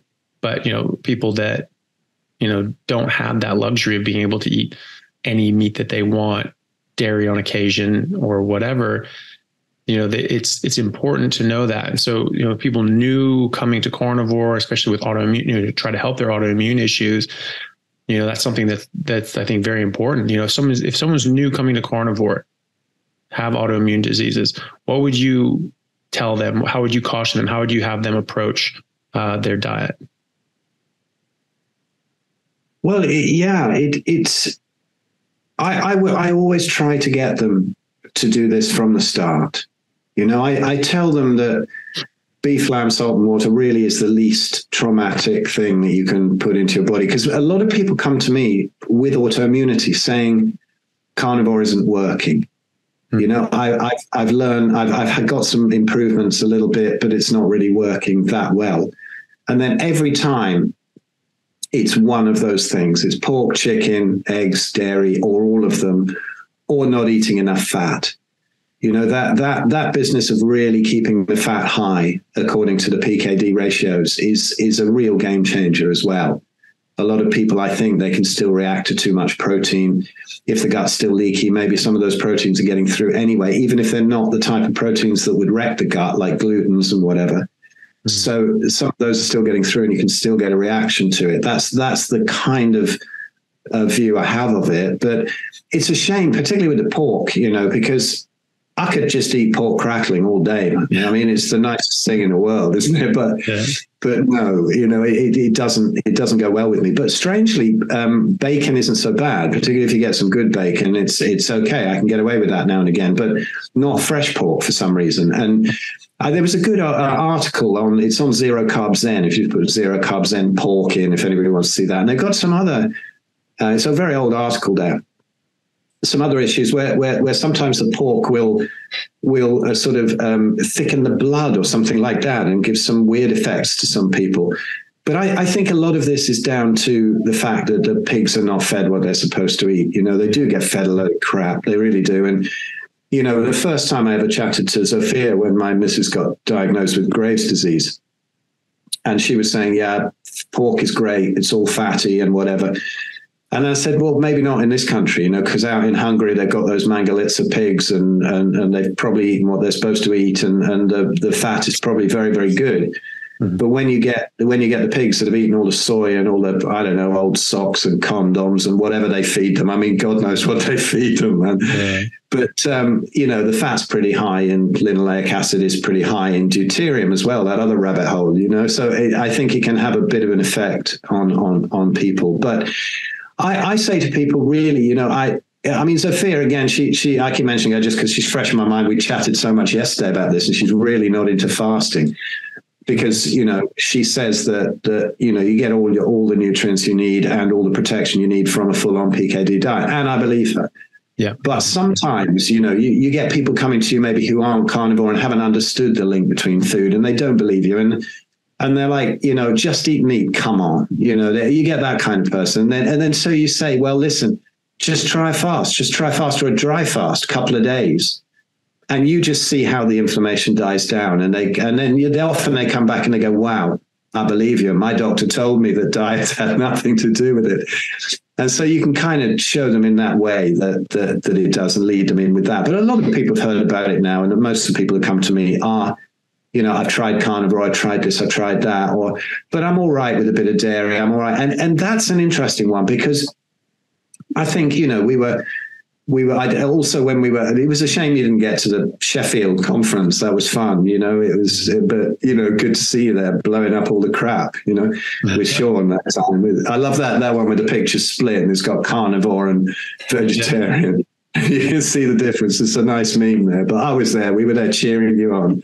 I was sitting there next to Zsofia during that actually, and we were cheering you on. It was brilliant. But you know, we took her out showed her around Peak District and whatever. And we went on this walk, and then and then she dropped something kind of interesting on us early in the earlier in the day. And I put this silly little vid up, you know, with these daft questions for Zsofia. It was before the proper podcast, but she said something that raw dairy is actually worse than pasteurized dairy. And I thought, wow, that's interesting. That's and, and I thought, you see, I've got an open mind. It was funny. So somebody on the YouTube channel, when I put that up, it came up, Phil, has anybody else told you that you're easily led. and I said, "What? Because because I didn't punch her in the face as soon as she said it, or something." You know, I mean, I, I, will listen to anything, man. I, will listen to anything. Another one was saying this woman is certifiable, but actually her points are quite interesting, mm. and that is that the main danger with dairy. I mean, I think the problem with the pasteurization is that people can't digest it immediately, so they have better results with digestion mm. from the raw from the raw dairy, mm. but her point was that the growth factors in, in dairy are left more untouched when it's raw. And so the problems come down the line that you're using um, you're using this dairy, which is only really you know designed to make a small animal into a large animal, and so it has a lot of growth factors, and that can be more damaging and more sort of um, um, cancer risking mm-hmm. uh, in the future than pasteurized dairy. And I thought, hey, you never know. That's kind of an interesting one that I hadn't heard before. But uh, of course, all the raw raw milk guys, you know, get very angry about that because they have um, there's a lot of tales of people healing on on raw meat, raw milk. Yeah. But I, I think I suspected, and, and, and Zsofia agreed yesterday, that it's kind of like those people who have sort of uh, benefits from something like Gerson therapy, you know, initial benefits. But quite often the problems come down the line where you just swap one plant, one set of plant toxins for another, and then, you know, down the line you you you get problems. And on not only a recurrence of the original issue, but other issues as well. You know, obviously with all the malnutrition and and, and um, emaciation that comes with something like trying to push Gerson therapy for too long. Mm-hmm. And maybe the same thing is happening with the people on on the raw milk kind of cures. Yeah. Who knows? You know, you have to be open minded. Uh, you know, I was told in my first few months of medical school that you know the you know the information and and understanding of medicine and how how everything works is so fast paced that by the time we graduated medical school, everything we learned was going to be out of date. And so you just had to you had to keep track of things. You had to stay on top of things, and so you had to have an open mind as well. And so, and you know, I I noticed this too. Uh, you know, of doctors, depending on where they are in their in their training, medical students will just listen to anything a senior says as like something coming out of the Bible because they they just don't know anything, and they're just like, oh, okay, this is someone else. They they're they're going to know everything um, interns and sort of first, second year doctors, same way. They're just trying to soak up information. Then you start getting, you know, a, a few years after that, and people start solidifying because they're doing exams or doing boards or doing all these sorts of things. And basically, it doesn't matter if it's right or wrong. It matters if it's in the book because they're taking an exam. And so everything that's out of the book, that's that's gospel. And so if it if it goes against that, a lot of people are just like, no, no, no, this is what it says in the book. I'm not listening to that. Not actually that that many people, because you you can actually put forward a pretty convincing argument. Um, you know, if you if you have experience with that, which I have, I've only met a few people that were just, you know, not really receptive to that. Most people are, but then you get the people that are past that and they're, um, you know, they've they've gotten to a stage in their career that they've seen things being turned on their heads and they were doing things for 20 years and they found out, oh, no, no, that's killing people. Don't do that. And they've had to reverse that. And so they understand that, you know, things change all the time. And as long as someone is, providing, you know, good e- evidence, um, you know, you should listen to it. And, but, you know, you're always saying like, okay, where's your evidence? How do you back that up? Whatever. And if you do, they go, oh, okay, fair enough. Um, I've always been dealing with a lot of surgeons doing that, so that's that could be why I've gotten a lot more receptive people. And uh, as I, I, think I mentioned, you know, last time we spoke, you know, the gastroenterologists really got their knickers in a twist when I was telling their patients about, um, you know, they were asking me, "Is like, is there anything I can do to avoid surgery for Crohn's?" And I was like, "Well, yeah, there are these studies that actually show that if you alter your diet and go on an elemental diet, you you can it, it has a better efficacy than steroids and it keeps people in remission and so forth. And you know i mentioned uh, dr j.h salisbury who was curing people with this since the 1800s with a pure red meat and water diet and all the way up until 1975 um, there was a book called the stone age diet. Again a gastroenterologist basically arguing you my profession doesn't need to exist if you don't eat plants. And you know, and and and then we we completely forgot about that because in 1977 the USDA said cholesterol causes heart disease. End of story. All meat's bad. All fat's bad. Just get rid of it. And and all this massive body of knowledge just got thrown out the window. And so I, you know, I meant I would mention these to people because I, I don't think it's ethical to just say no, no, no, surgery is your only option when clearly it isn't. And I never would like to, I, I, would never want to pressure anyone into trying anything. I just say, look, here's some information. Here's some things you may not have known about. And here's some resources. You look it up, you do your own research. And if it works, great. Surgery is always on the table. Surgery can always happen. You know, you're not in a rush. You don't have a perforated bowel. You know, this this can this can wait. And they got absolutely pissed.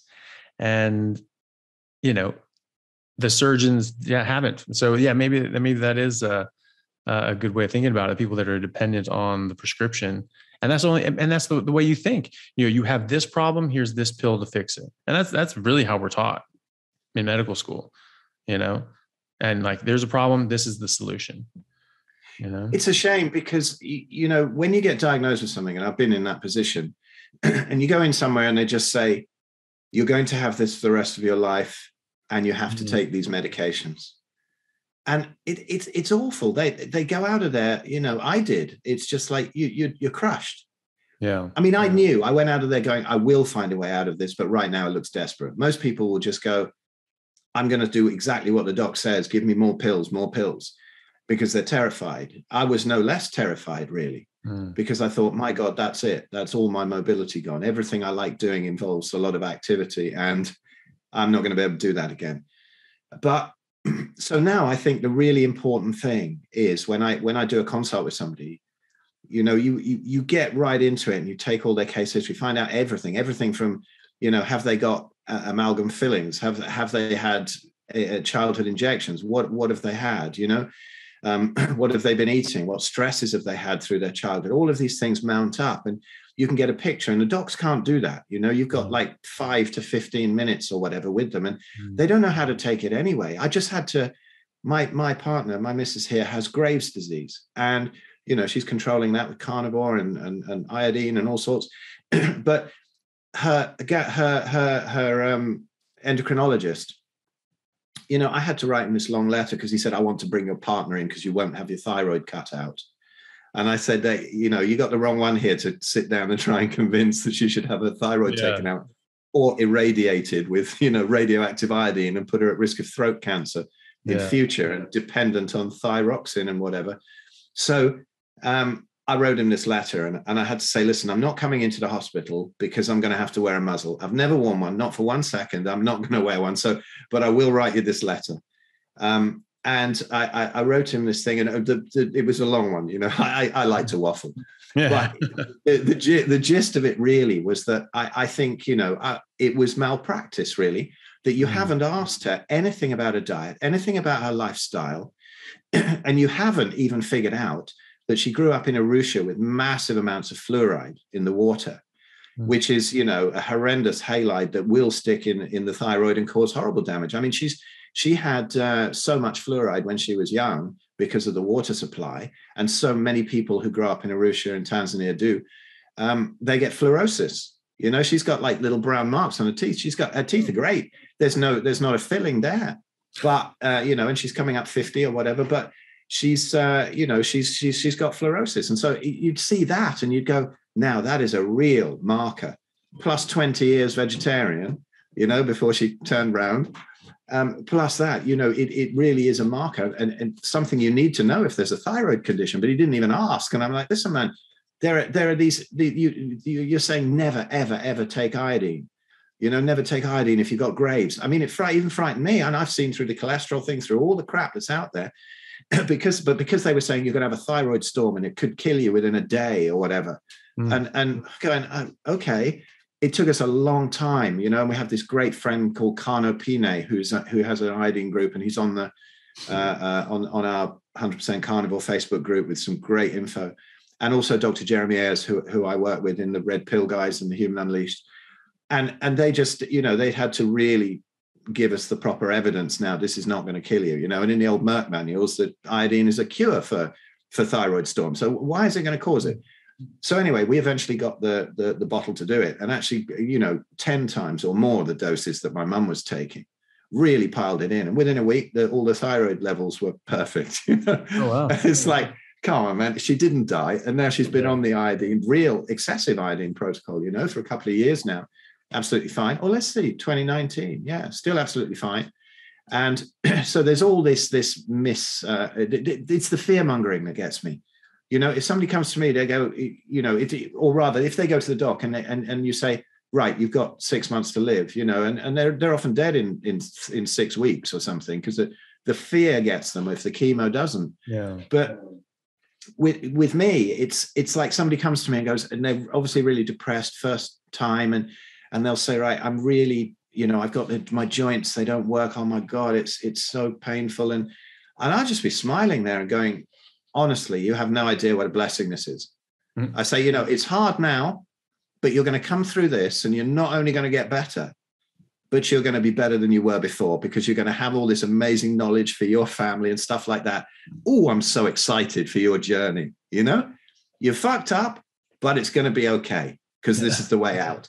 Imagine if the doc said that, how the difference in the mood when people would walk out, you know, after those 15 minutes. But after like hour and a half with me, you can see them really smiling at the end. They've got hope finally because the docs had never given them hope. Yeah. Because they're only told that those meds will, will do it. And, and I think that's one of the worst things is this unbelievable fear mongering. Because mm. yeah, we do mess up. We do get in terrible agony. It's not going to be fun for a while, but you are going to get through it. And that's uh, that's what I love, you know, and seeing each consult, they're smiling more and more, you know. It's beautiful. Yeah. Well, you know, that's the thing. I think it's I think it comes from a basic lack of understanding of of the causative nature of these illnesses.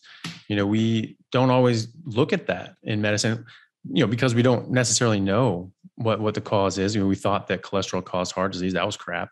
And you know, and these other things as well. We just don't really know. We're, we're getting a lot more information now and it's showing to be you know things like you know lectins and how they you know bind and different sorts of chaos they cause in your body and so forth and many many many other things that uh, are you know from plants and plant-based nutrition and so forth and how this affects your body causing leaky gut letting these bacteria and other you know poisons from the plants that normally pass through your body now they get in your into your system and, and, and cause havoc they don't understand that there's a disease process going on underneath all of this. They just think, well, here's the problem. This is the best thing we have to mitigate that problem, as opposed to thinking, okay, what the hell is causing this?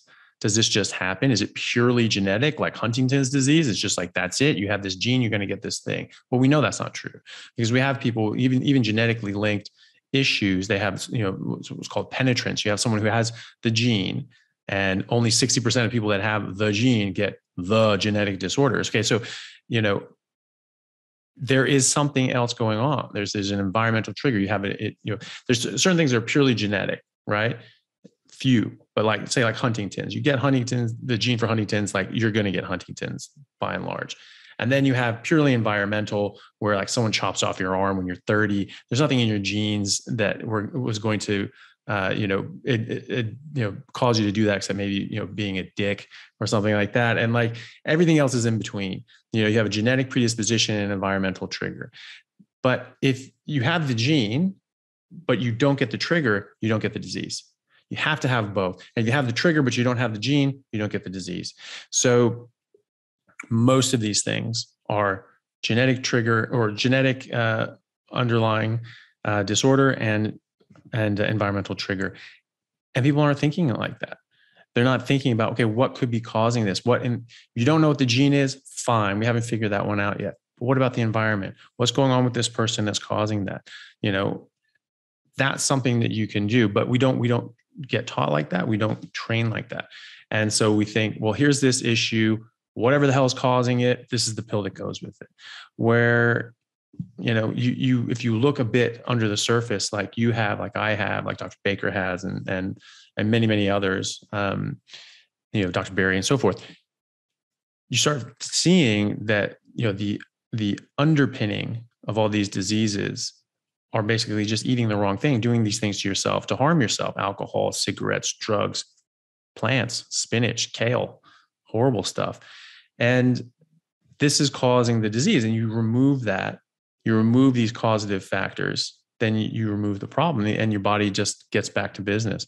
And until we as doctors start thinking like that again, you know, we're, we're going to keep going down the same path. You know, if you want to keep doing, getting the same results, keep doing the same thing. And, and unfortunately, that's what we're doing. That's what we've been doing for half a century. And so it's very important to just keep pushing that idea that you know we need to just change the entire uh, outlook in medicine and, and, how we approach these sorts of things. And once you get once you get all this environmental uh, these all these environmental influences out of the way then you get back to just things going wrong. You have genetic disorders you have accidents you have you know birth and you know childbirth and delivery and so forth. You have infectious disease and you have poisonings. That, that's really it. That, that was medicine for thousands and thousands and thousands of years. Those those five broad topics. Now it's all chronic disease it's all chronic disease. That's the vast majority of what we do in medicine is treating chronic diseases. But you know i think that still in those five categories but the poisoning. You know we're getting poisoned and that's you know precipitating these diseases but they're not diseases. This is this is a manifestation of poison in your body as evidenced by the fact that you remove the poison and the condition goes away. There's a cause and effect relationship. And so we've just blown up the poisoning side of things because we don't realize that we're being poisoned. Like you know i've said before like the romans you know back in ancient rome they all had lead pipes and they got low grade lead poisoning. And people just think oh that's just that's just how you age. You know your, your hair is supposed to bleed. It's like no no it isn't. That's not supposed to happen. And people figured it out and say okay you know what the hell's going on here? And they figured it out. But for a while there people were screwed and they were just growing up generation generationally being screwed. And then people just grew up going like oh yeah that's normal but it's not normal look two generations back that was not normal that did not happen and yet now people dismiss it and say, "Oh, it was probably happening at the same same rate. We just we just didn't notice it." Like, yeah, because everyone born before 1986 was an idiot. You know, the guy Da Vinci, like he couldn't he couldn't you know sort his ass from a tea kettle. You know, like you know th- these people were brilliant people. Just because they didn't have an iPhone, I, I actually got into it with this guy. He's a he's a doctor. Um, and he just approached me on Instagram, seemingly nicely, saying, "Oh, you know, you had this post about um, um, you know, about kids and things like that. And there's there's actually an article written by uh, a group of pediatricians that basically said vegan parents should have their kids taken away because they are harming their children. And this was this was their opinion. This wasn't mine. And I just wrote a, an article just discussing uh, childhood development and so forth, and and and you know just giving the the facts and citing you know studies and so forth. And so he just seemingly nicely and seemingly honestly, you know, came and was talking to me about this sort of stuff and you know said well you know, if, you know first of all like you know if i if i thought i was harming my kids i would i'd have them eat and meat you know without question you know not a problem like i my i value my kids more than i value uh, animals and so that's fine but you know what's but they're thriving they're doing great and all these sorts of things and i was just like great i'm, I'm really happy for that i genuinely am but are they you know are they developing to their genetic potential I mean, how do you, how do you know that? I mean, they're doing fine. That's an N1 trial. Like you, you looking at that, it's doing fine. Well, compared to what? You know, as any economist will tell you, compared to what? You know, compared to other kids, fine. You're a doctor. Your your your your wife is a doctor as well. You know, you got good genes. Your kids are going to get good genes. You you can understand how much the, the supplements and all the deficiencies and all these sorts of things great. So your kid's going to be doing better than another vegan kid, and you've got good genetic stock anyway. What does that mean? It means nothing. What is that going to? What's that kid going to do compared to itself?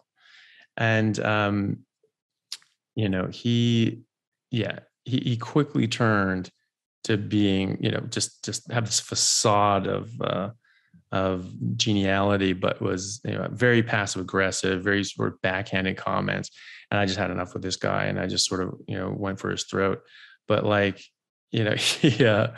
Um, you know, it makes them very aggressive, doesn't it? I mean, I, the, the does, most yeah. aggressive people I've seen are, are vegans. The, the things that I've had said to me, I just have to laugh. Really, I mean, it used to really amuse me when Shawn you know, Shawn Baker on on his yeah. videos, he used to always say, uh, "Now there's a prize for the best death threat for vegan oh, death threat in the comments." You know, yeah. and they just and they just go crazy at him. because oh, I think funny. they knew that finally Shawn was on there and, and he looked great and and mm. you know and he was a doc as well, and you know he could probably do absolutely hundred reps with Greger with one arm overhead, yeah. you know, and it was it was like you know obviously he's onto something, but they wouldn't mm. see it. And then they got on to me at one point, and, and what about Shawn's blood results? You remember when this came out? I think right. it was on uh, it was on what what was his name? Um, the paleo dude. Uh, I've forgotten. Anyway, his hmm. podcast and um, Robb Wolf. And it was like, yeah, and they went through his blood results and all that, and and he had low testosterone, and he had uh, some sort of raised blood sugar or insulin or something, mm-hmm. and, and and he'd probably just been training or something, and and they don't understand the the blood results from somebody who's carnivore. They're ne- they're never really right. quite the same as other people's. And I made some, I had to make some video in the end, just stop asking me about Shawn Baker's blood results because it went on and on. And I went and got my bloods done because the vegans were saying, you're probably dying of diabetes or heart disease like Shawn Baker. yeah. Like, yeah. yeah, right. Yeah. And so I thought, well, all right, I'll do it. but I thought I do have a bit of a worry. I thought because I've got um, uh, for 30 years I was teetotal, and every time I had blood results, blood tests done, they'd say, "Are you an alcoholic?" You know, well in the later years, because mm. they said, you know, your liver results are way off, and I had fatty liver and I had cysts on the liver, mm. and um, when I started to go keto and when I, I also introduced liver flushing, which is a bit the only bit of one of the thousand woo woo things that I did when I was vegan that I still think has some value. And I don't even know if it works as they say it does, but it does do some interesting things. But um, I, I did a bunch of those and, uh, you know, the keto thing. And then I went back for a, a, a scan on the liver, well, an ultrasound. And I said, Have I still got fatty liver? And they went, No, it's absolutely perfect. Mm. And I said, Oh, that's good. How about the cysts? And they said, Oh, you haven't got any cysts. Oh, brilliant. They've gone. Uh, and said, Well, no, you can't get rid of cysts.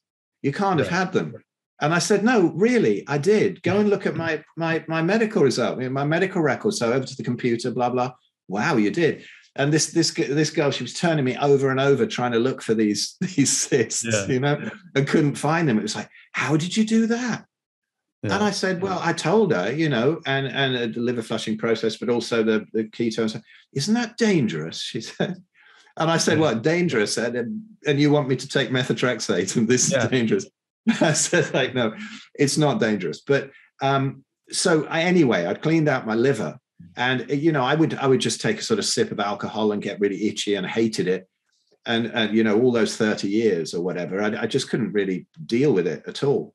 So I just didn't drink and then you know into into the carnivore years when everything had had fixed itself i thought oh i'll try some wine and some brandy and stuff and i was like a teenager again and i thought right i'll i'll go you know it's it's got to go soon. I thought it's it's tailed off but uh, i had a good experiment on it. I thought let's let's experiment with alcohol. And i found as a carnivore i didn't get a hangover. Now please uh, here's a, here's a disclaimer here. I am not recommending alcohol right? Mm-hmm. I, I just decided it's my own choice and i thought i'm going to have a go with it.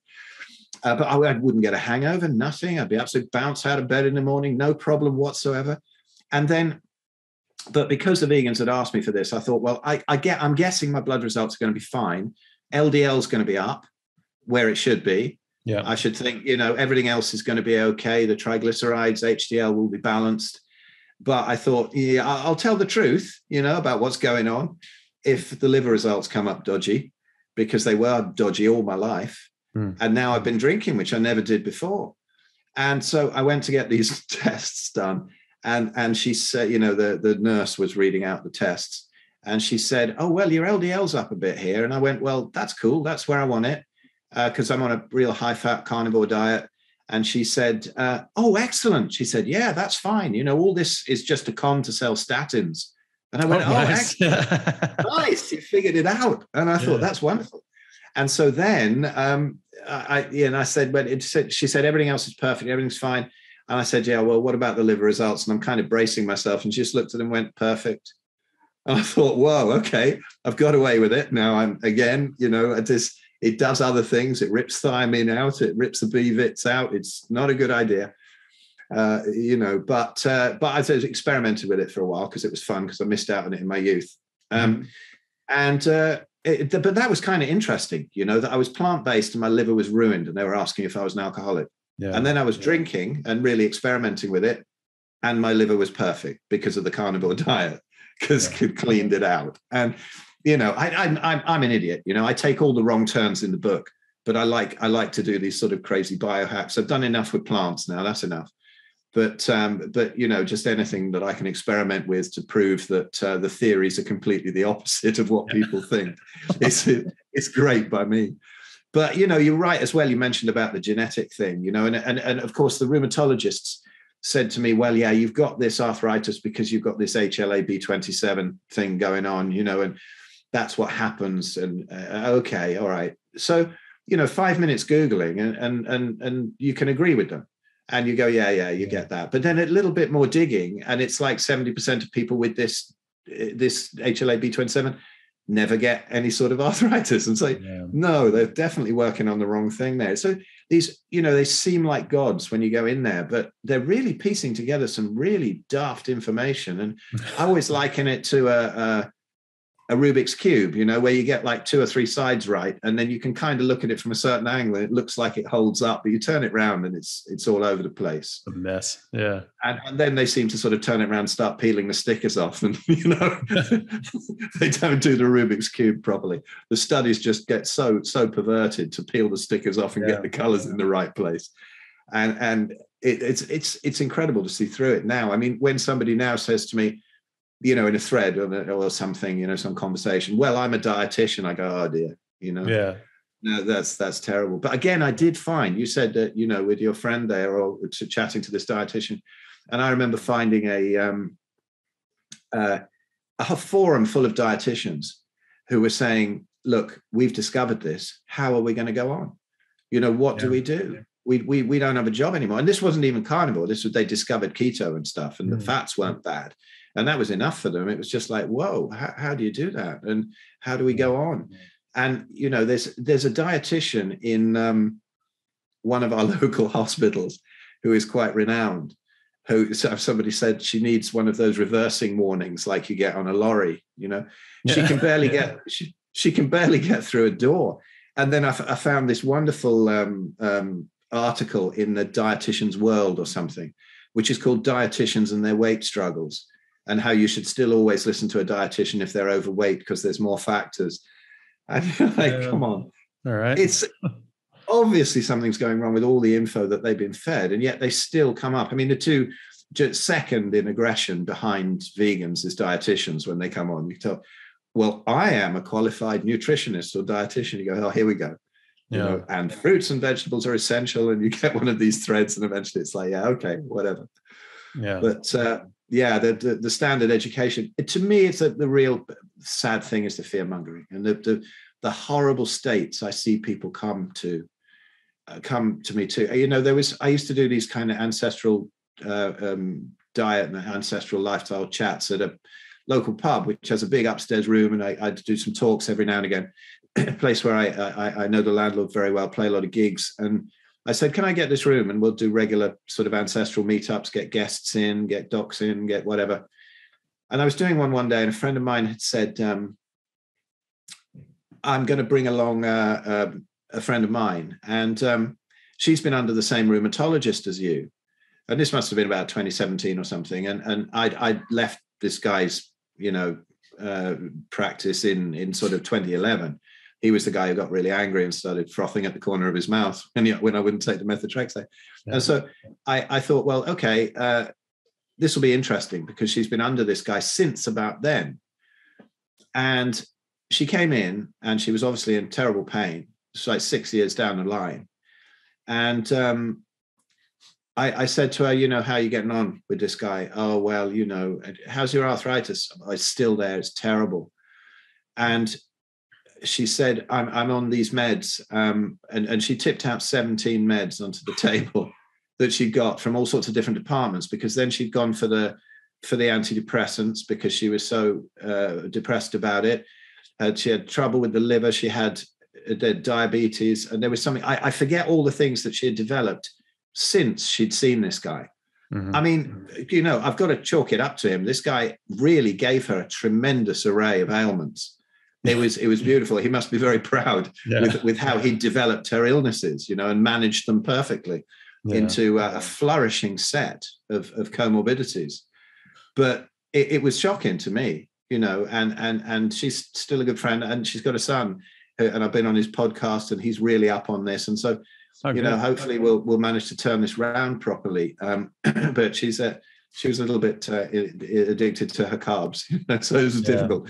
But um, it was horrifying to see what had happened the difference in staying with that guy for six years and being away from that guy for six years. Mm. And I was jumping around doing this and that. And then we had some ancestral movement guy in there, and I'm sort of sitting around cross legged on the floor and bending and stretching. Not, I have one knee that's a bit dodgy from the time it was inflamed, and it's nothing I, I won't be doing my three hours a day in full lotus position ever again, I don't think or, or, or asked to the floor squats. I don't think. I, I don't know. Maybe if I just stop being lazy with it and really work it, I might do it. But there is some thickening of the synovium there that's causing a bit of an issue. You know, there's no inflammation, but it's just kind of damaged. But to see me doing that, she's going, How do you do that? How do you even get on the floor? How do you do, you know, it was a distant memory for her. And and it's I I don't know. I just think the terrible states that people get into with this polypharmacy. If somebody comes to us, to you know, Dr. Jeremy, or we we we we sort of confer a lot on cases and whatever, and and and, and see these people that come to Kim or come to me or both of us, and you must get him on the show, by the way. Utterly brilliant dude. Thirty years he's spent, you know, doing these things and and, and fixing people outside the medical system. Comes from a sort of uh, osteopathic and and uh, uh, and chiropractic naturopathic background, but then into carnivory and everything. But Jeremy is wonderful, so eloquent, marvelous character, beautiful, beautiful healing um, record he's got with people going back a long way. But you know, we see these people with these real polypharmacy, and it's so much more difficult to fix them. If you get somebody who comes along and goes, "Oh, I was diagnosed with psoriatic arthritis last week. My my knee blew up last month or something," it's like this will be easy. You'll be fine. You know but when you get somebody saying well i've got a lot of joint damage and i'm on all these meds and, and they've kind of harmed my liver and i've been on them 20 years but i've heard about this carnivory thing you're like yeah i can't promise you're going to have the body that you had 20 years ago now you know? And the meds have done a lot of damage too. So we've got a lot more to reverse than the condition. You got to reverse all the stuff that these these chemicals have caused and yeah. it's very sad it's very sad they stay on them all this time and you see you see these um, Facebook arthritis Facebook groups. I started my own one. If anybody's listening, it's a real mouthful. It's called uh, Rheumatoid and Psoriatic Arthritis, Mitochondrial Health and Carnivory. I was thinking, how can I get it all into one title? Yeah. But it's great. I got only about a thousand five hundred people on there, I think. But it's nice to take it out of the carnivore group and have them in there. But I had to start it up because I got thrown out of every arthritis Facebook group there is. Yeah. because for suggesting for having the temerity to suggest you can heal this naturally. I even got thrown out of the natural healing ones. Because you know you, you go to them and, and you see the first thing you see is their cover photo and it's all full of berries and plants and all these wonderful multicolored eating the rainbow and all that. And you start to mention underneath and then you get all this thing. Well everyone's different. Don't be so dogmatic. And i'm going no i'm not being dogmatic eat what you like when you've healed, but just look at the plant toxins. Look at what this is doing. Look at what happens to the gut. You know, look at what happens when the gut heals. Look at the work of Zsofia at, you know, Dr. Zsofia Clemens at Paleo Medicine, Medicina in Hungary. Look at how they're healing the guts and testing it with these gut permeability tests that, you know, and and you can see as the gut heals, the the the the autoimmunity dies down, whatever it is, and plants will cause a leaky gut. You can see, no, they don't. You need fiber. How do you even shit? Have you what? You think I've been seven years, yeah. you know, on a carnivore diet and never been for a shit? Yeah. I was saying on, on Shawn's podcast, you know, that that that my my turds could be on the front cover of the of the of the glamour calendar for the Bristol stool chart. They're perfect. you know, like I, I want to I want to wake the missus up in the morning and go, look at this crowd pleaser. Look at it, man. You know, it, it's and after sort of years of, of dumping like on Dr. Greger's daily dozen bowel oh, movements oh. diet, you know. I mean, no, it's it's just something Tristan Haggard said, my friend on Primal Edge Health, you know, he's he's brilliant, a carnivore and whatever. And he does the most amazing Greger impersonations. You got to check out his channel sometime and just he's so, so funny. Um, but he, you know, because he's got this his daily dozen, Greger. You got to eat these daily dozen toxins, you know, but Tristan just calls it his daily dozen bowel movements because that, yeah. that's what happens, you know. But but after uh, after that, you know how the, the the digestion comes online again. But they're always like that, you know, and you get thrown out of these arthritis groups for even suggesting that an all meat diet would. And I think it's such a shame because you know I made a, one of my YouTube videos on my channel is you know why why uh, arthritis Facebook groups stop you healing. Yeah. Because you know it's just they've got a little bit of knowledge that maybe the meds aren't so good but then you get them in the in the in the sort of awful support groups for the people on the meds. And they're all on these biologics and all they're doing is posting pictures of incredibly swollen fingers mm. like sausages and whatever. And they're going in and, and and i'm on remicade and i'm on this and i'm on that you know. I think well it's, if it's not working and it's costing you a fortune yeah. why? But they've got no hope because these people say there is no hope yeah, well, and they, and they also say I was like, well, imagine how bad it would be if you didn't take all this crap. Yeah, and yeah. you know, and, and of course, if they're doing whatever is precipitating, you know, their disease probably will get a lot worse too. But you know, is that I know sometimes sometimes the, the cure is worse than the than the disease. You know, these people, especially what you were talking about, 17 medications. That's that is something that you literally in, in, first year medical school it's like don't go down this rabbit hole. Like don't just go prescribing medications for the side effects of medications and medications and medications. Like you need to go back to the beginning go like this is the wrong medication. Let's try to find something else or a different dose at least. Um, well isn't isn't the problem there that you've got too many departments in hospitals and they don't yeah. one doesn't know what the other one's doing. So you know you get oh the liver's a problem now because of the methotrexate right? You go yeah. to the, the, the the liver dude and then you go to this and then you go to that and they don't know what they've all prescribed and so it just gets it, it just gets mashed up. I mean when are we going to have a human body department? Yeah. In yeah. a hospital you know?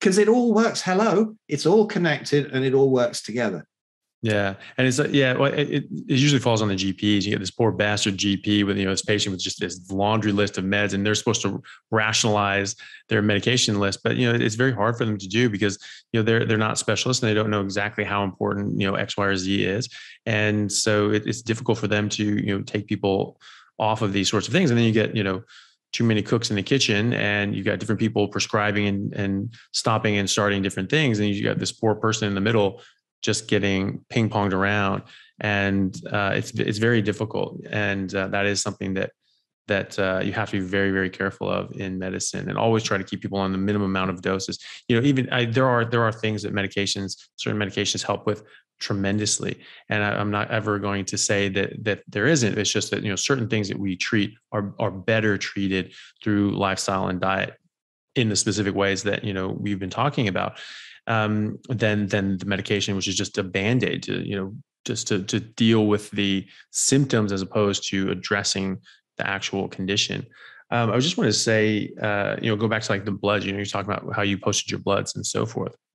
This is something I've seen. I've been seeing just a couple times recently uh, in the comments of some of my uh, videos. So, some people were saying not a lot, but there was every now and then someone was just like, you know, some of the vegan people just saying, "Oh, this is bullshit," you know, like you know, he they're like totally sick. They look healthy, but they're dying on the inside. He won't even show his bloods and talk about his blood results. How do you know? And I'm like commenting back. I'm like, who the hell ever said I wouldn't show my blood results? I talk about my blood results all the all the time. You know, I was like, I have no problem talking about my blood results. Um, I don't care what my bloods are because I live physiologically. I live, you know, ancestrally, and, and I eat a biologically species specific an appropriate diet. So I know that my body's going to be working as well as it can genetically. So I'm fine.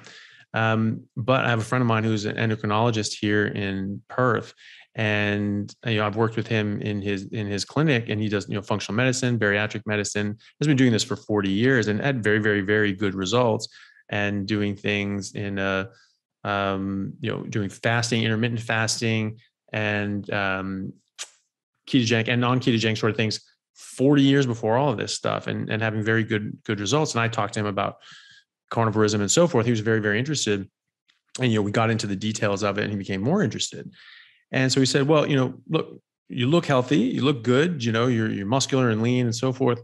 Um, well, let's let's check the blood. Let's check under the hood to see what's going on. And so he ordered this battery of of tests. You're just testing absolutely everything and gave me a call a couple weeks later and just said, "Hey, you know, we should uh, we should talk about this carnivore diet over a steak sometime." because your your bloods came back and they were they were very good and we should go through them. And so, you know, I went in and we we talked about them and pages, pages and pages of these things. And you know, he, and he looks at things in, in a very different way. You know, we look at generally how you have a reference range for a blood test is the first 2000 people that come in that year that's your that's your spread and they who gets blood tests? Sick people generally. And so you know and old people young people all these sorts of things. And so you're getting you're getting a wide range of healthy and unhealthy people elderly and young. And so that's not necessarily a, an accurate reference range for health for optimal health. And so he goes by reference ranges looking at people that are 25 and healthy. And and these and this is the range that that um, that you see in those in, in that cohort. And so that's that's sort of what he bases his his uh, metrics on. So we are looking at that.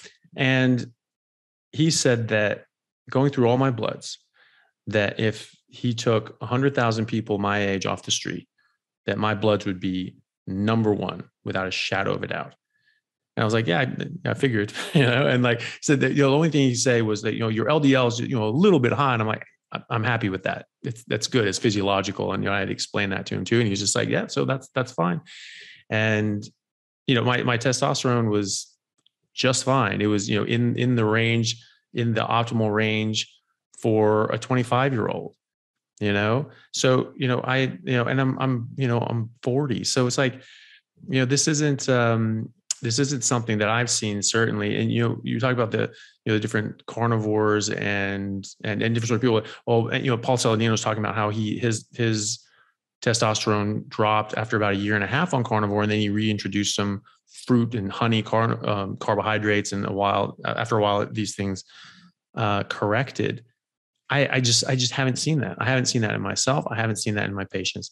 I've seen the exact opposite. I've seen people's uh, estrogen levels and testosterone levels normalize. I've seen them get better. I've seen their growth hormone levels improve. I've seen their, you know, they say it's like Saladino was also talking about like after um, because he just came out with a with a post about when why you should eat carbohydrates basically and, and fruit sugars and so forth. And you know, I just watched it.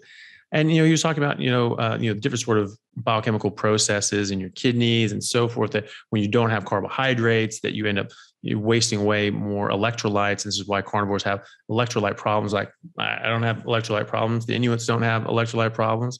Everybody in the in the ice ages and so forth, you know, at least were able to sustain a generational uh, society that they got through 20,000 years of ice ages without any honey, without any fruit. So obviously, you don't have to have carbs, and I would argue that that carbs actually are a detriment, you know, especially fructose. And so he's talking about you know magnesium and so forth, and you're just you're losing this stuff, and you get you get low levels. Well, my magnesium level and zinc levels and and uh, you know calcium and so forth, they were all perfect, and and that's actually something that um, uh, Dr. Rensburg was saying um, that in Australia the soil is actually quite poor in magnesium and zinc. And so the plants aren't getting enough zinc and, and magnesium out of the soil. So the animals that eat those plants aren't getting as much as they would either. So almost everyone in Australia is zinc and magnesium deficient. I was not.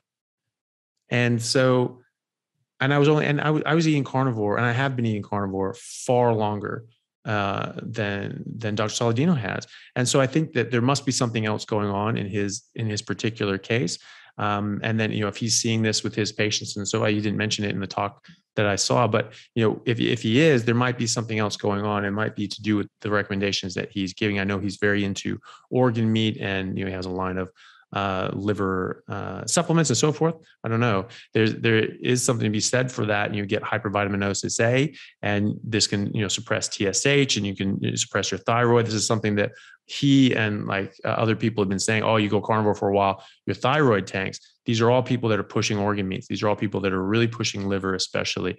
And you know, when you think about the proportion of an animal that is liver compared to skeletal muscle, it's hundreds of pounds of skeletal muscle to every one pound of liver. And so you're simply not going to be, you know, eating liver in the amounts that we have it accessible to us today in the wild. You know, you're going to have 1% of your meat, maybe, is going to be liver, probably a lot less. And so, you know, yes, it's rich in vitamins, but that therein lies the problem. You know, you, you know, we, the classic one is a polar bear liver that has you know so much vitamin A it will kill you. Well, you know, these other things you know aren't going to kill you just by eating one liver, but you keep eating you know a lot of liver, half a pound of liver a day every day, things are going to build up in ways that you don't necessarily want. And I think that's part of it. And there's other things going to be involved as well. But I haven't seen that. I certainly haven't seen that in myself. Um, well, you make you make such a good point there, which is which is exactly the one that, that, that Shawn made in response to Paul Saladino's thing. Well, you know, how big is the liver compared to an animal? There you go. Yeah. You know, uh, I mean, I think it has its place. And when somebody comes with a very leaky gut, I really like the paleo medicine thing where they say, try and get 400 grams in a week while you're healing, just because most people who come in are that depleted. Mm. Yeah. But I, I don't think past a certain point you really need to go and pile that stuff in. No. Um, and and it, yeah, it is interesting that it does seem to be causing problems when people have it too high in the diet. Um, I, I and thyroid. That's that's interesting. I mean, I think a lot of the time these blood results are just a snapshot, right? I mean, they can change day to day, and particularly when somebody's healing and we don't know what the body's doing. I think one of the classic examples of this is people, you know, with Hashimoto's, and so many women have Hashimoto's at the moment, particularly women, and uh, um, so many particularly have been vegan and vegetarian or on low calorie diets and all that kind of thing, and you you get um, you get this panic that because I think it was started by I've forgotten her name now, but she's called the Paleo Mum, and she put this thing out, you know, that if you if you go um, keto, then your thyroid tanks. And it, it started off this real fear about it. And what I've seen anyway in people is that quite often when they go keto, um, when they've got Hashimoto's or something, the thyroid levels go a bit crazy afterwards. and and if they've if they've got uh, a doc who's taking the bloods, they go, "Oh, you better get back on. You better get back on some carbs. That that almost killed you." And then they start posting, "Oh, it almost killed my my my my thyroid." You know, going keto. Never do that and then you go a couple of people I've had where it's the same things happen, but they haven't gone back and say, well, how do you feel? I feel fine. So I say, well, just give it a bit more. And usually after two, three months, those levels balance out again. You know, and so the body's doing something that we don't understand and the endocrinologists don't understand. And it's just a little snapshot. It might have been totally different the next day. And just because of that, and somebody put out some fear mongering about our ancestral diet, you know, don't eat what we're supposed to eat as a species because your thyroid will tank, like yeah, all of yeah. those Inuit and Maasai, you yeah, know, whose thyroids tank.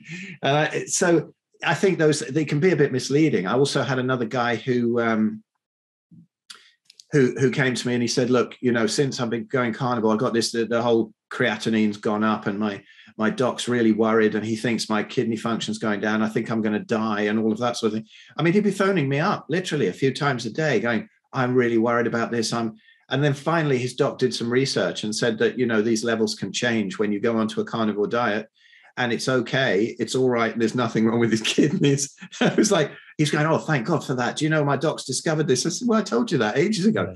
Yeah. it's not a problem. Yeah. there's no mechanism by which a fatty ruminant meat diet can blow your kidneys up. There is no way. There's a couple of ridiculous rat studies or something that show it but I mean, you, you also make this point of of of, of the nutrients and, and and how they get through. You know that great study with the oysters, where they split people, three people, three groups of people. They wanted to find out how the zinc levels shot up in in or increased in the body when you eat oysters.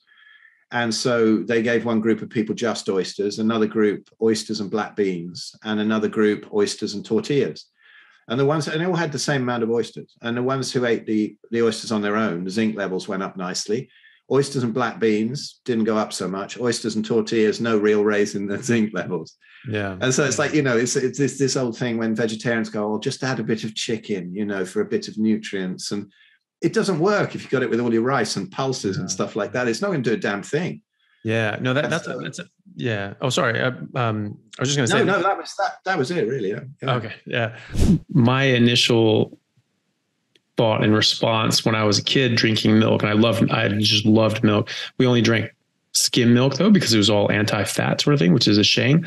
But we, I drink a lot of it. I would, I would drink like a gallon of milk a day sometimes. I just absolutely loved it. Unfortunately, I, I wish it had the fat in it. That would have been better. But still drink a ton of milk. And I remember people trying to, you know, say that, that milk was bad. Oh, it has all these growth factors and this is and that. So I'm like, awesome sounds good. Free growth you know like i was like i was, I was more than happy to to be a, a large adult you know male. Like, i was like yeah more milk then. That sounds great. That sounds like a oh, that's a that's a that's a great point actually because you know bodybuilders and whatever have often down tons of milk. I mean when i was in the gym and doing a ton of training and got big I was doing a load, you know, and I'd mix a whole load of protein powders in them and down them and fart all day long, you know, like you do. but but I was um, I, it, with the with the milk. I mean, it, is another possibility that if you're really training, then the growth gets channeled into a, a much more of a useful area. Because again, I was sitting with Zsofia at the conference. We were talking about this. because Shawn was there, you know, and he's sitting there with his guns out and he's looking like way better than all the other guys who were sitting around. Mm-hmm. And you know, I was I was talking to him. He was sitting next to me just before he went up there, and I said, "Man, look at those chairs. You know, you can't sit in one of those chairs. You've got to get a different one without the arms. You're going to get it stuck on your ass and end up walking around the stage with it stuck on your ass." so if you notice when he's in that picture, you know, he's got one without the arms on so he can actually get out of it. because They're these tiny little chairs, sort of vegan sized ones. Oh, but, you know, we, we were talking about this and, and she was saying, yeah, it's, it, it depends on your goals, doesn't it? You know, I mean, there's nothing wrong with eating five pounds of ribeye steak a day if, if your goals are building muscle. But when you're in a, an autoimmune flare, your goals are very different. Mm you know you you're, you're unable to train enough to build to put on any muscle probably unable to train at all and probably best you don't until the inflammation's down because it can you know it's it's just it hurts and it it you know it, it triggers a bit of inflammation anyway.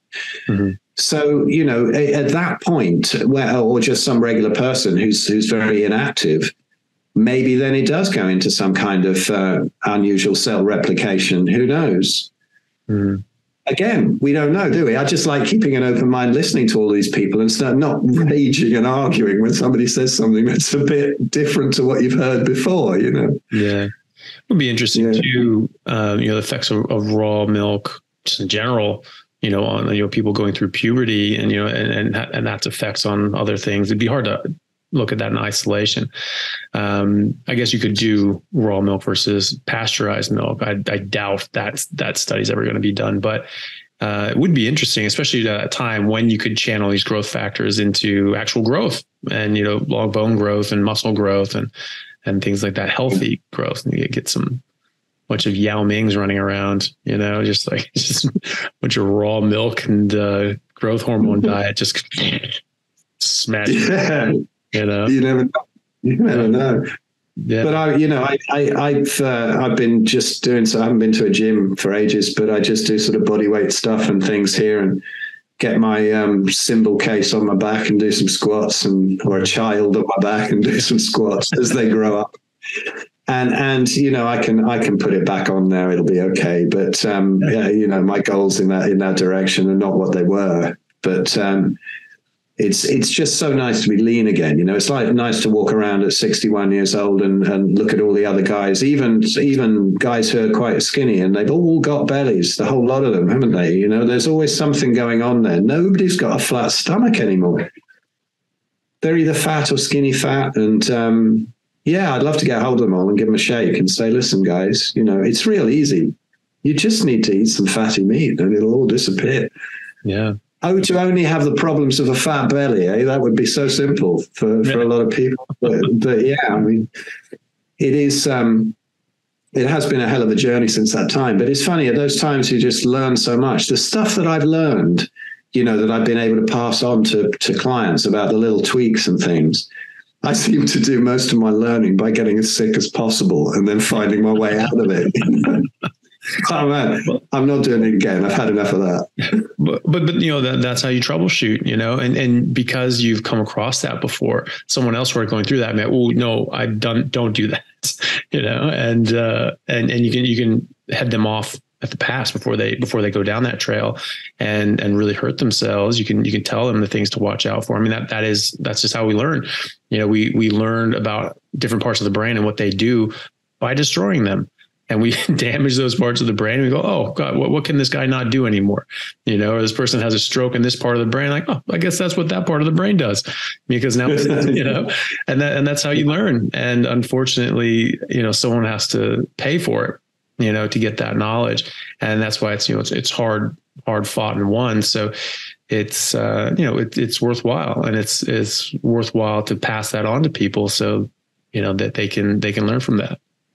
Yeah, I think I think one of the important things really is to tell people something that I heard Natasha Campbell McBride say a long time ago that there's no point trying to work out exactly what it is in your diet in the last few days that's caused some kind of a flare mm. because it, it, can be something that you ate a month ago mm. or even longer, you know, and if you've been backing these things up and say eating a load of dairy when you're autoimmune and and um, or prone to autoimmunity. I mean, you can see the, the, the track of autoimmunity. Really, it's like I think it starts off in the subtle ways, and these things take decades to build up. You know, when I look back as a child, I used to get migraines. I was healthy and fit and running around, but but I used to get migraines, and a couple of times I got asthma, which I'd totally forgotten about. Luckily, my parents didn't give me any of the inhalers because I think that can just kind of perpetuate it. Hmm. Um, there was a, something else that Natasha Campbell McBride said was that once you start doing that, you sort of drive um, drive uh, asthma deeper into the body and deeper is a problem, and, and you don't allow the lungs to go through that um, sort of spasm and sort of whatever it is that's going on there. That then they they you get a sort of natural immunity to it, if you like. Not really in that sense, but you, you'll be okay. Like you know, if you have measles, you're probably not going to get it again. Um, and and she she says that you know that's that's the way to deal with that. Although it's frightening for parents when the child's gasping. But I, I, I never used to I never used to I never got any inhalers, and I remember, remember like two or three nights where I got it in bed or something like that. And hay fever, just really severe hay fever every year. And now since going carnivore. Mm-hmm. I have to look at other people, you know, to find out whether it's hay fever season. I see people sneezing and I go, oh yeah, there you go, you know, and I, I don't have that anymore. But I think little little things like that of the of the immune system just not functioning correctly in early life is is a warning sign that that you know your child or whatever might be prone to autoimmune issues. So to keep them a, a more strict, like my son Peter, he's he's uh, just eight and you know he looks amazing. He's he's he's mixed race, just beautiful frizzy hair, and just so he looks like a little bodybuilder. He's fantastic. His body is incredible. Mm-hmm. So uh, dense and solid, and I think we might have chatted about that on the other podcast. But he's so heavy, but no fat, you know. And, and he's basically he's just been breast milk and meat, and that's it. Oh. And uh, you know, we we brought him up like that, and, and he's amazing. But early on, he was prone to it. He probably had some of my genetics or whatever and had some uh, eczema and some asthma. But the stricter that we keep him, mm-hmm. um, the more that that that just disappears, and he doesn't have any of that now. But he was sort of he, he, you'd, you'd give him like half an apple or something peeled. We gave him bits of fruit sometimes, and, and, and his cheeks would start weeping with the eczema, you know, just from that. But without um, we, we, a bit of chocolate wouldn't do it to him. But mm-hmm. fruit would, you know. But fruit's so healthy, man. It's it's it was amazing, you know. I, and then I just started putting it in their lunch boxes anyway, just to stop the um, you know the dinner ladies calling the social services that he just had meat, but he, he wouldn't eat it. You know, he'd come back and he'd go in the bin. But I've even given up doing that now. He just goes in with meat and that's it. You know, he's gone in with a load of fatty lamb burgers in a flask today, and, and that's the kind of thing he eats, and, and he loves it, and he's great. But yeah, I think to spot those trends early on is is is really important because sometimes it can be a very slow process. When I look back to um, the early '90s, and and I had a wrist that was really bothering me um, playing drums, and it started to really bother me. And, and I'd have to sort of go up to the bar and put my wrist in some ice, you know, and I was thinking it was a sprain or something like that. And then they diagnosed it as Kienbock's disease, you know, where the lunate bone crumbles, the sort of avascular necrosis of the lunate bones called Kienbock's disease. And apparently the lunate bone crumbles away, and after six months or so, it's it's all sorted itself out. And either you have not much problems, or you lose the use of your wrist, or whatever, depending on how you built. But luckily, because it wasn't that, it was just a, yet another misdiagnosis. And, and, it probably was this psoriatic arthritis re- rearing its head early on because that little bit of sacroiliac problems, you know, in the gym, like sort of eight years later or whatever. And that often those arthritic conditions start in the in the sacroiliacs. You know, when somebody comes to me and says, well, I don't have much, but I do have sciatica a lot, and I have problems in the lower back and like down one buttock and the sacroiliac, and that's always a warning sign for me because a lot of these um, these sort of arthritic conditions can start in that. But it got in the wrist with me as well, and it was it doesn't bother me now. I've got most of the movement back there, but you can see that it's you know it, it's lost the movement there, and that was for years. You know, it's okay now. There's no inflammation in it, but it did do some damage in there. I mean, whatever's calcified in the in the in the ligaments and whatever. Maybe I should work at it harder, get moving back the other way. But getting the movement back that way has been fine for drumming. I can still play. You know, fine. But that that sort of thing that we don't those little whispers that doctors just are not picking up on to me it would be damn obvious now you know i'd look at that somebody with hay fever somebody putting on weight somebody you know, who, who has some sacroiliac problems and then one joint's kicking off, I'd go, yeah, you know, it's pretty obvious what's happening here. Whether you put one of their labels on it, where they call it rheumatoid, psoriatic, reactive, all, all that thing, it's the same process, isn't it, really? Mm-hmm. You know, you've eaten some crap, you've done some things wrong, and here's how to sort it out. And, and that's it, really. You know, nip these things in the bud, nip them early. Yeah, absolutely. Well, I, I definitely agree. And um, well, I'm glad that you're you're back on on form. You put back on your weight. Are you back up to normal weight now, or or where are you at now? No, no, not yet. Because I had some fat, and, and, the the weight that isn't hasn't gone back on is probably half the weight that I lost off my legs. And you know, I'm walking around now, and I'm fine, and I'm playing drums at gigs and whatever. But yeah, legs legs still need some building up. Probably about another ten pound would go on there if I built them up. In which case, I would have put back on about twenty five of the thirty, which which 25 of the 45 that I lost. And so that would just leave the fat loss. So that's fine by me. So yeah, I'm, I'm on track and, and, you know, put back about 20 pounds since January and that's not fat. So uh, yeah, I'll, I've come out again. It's better the other side than I went in.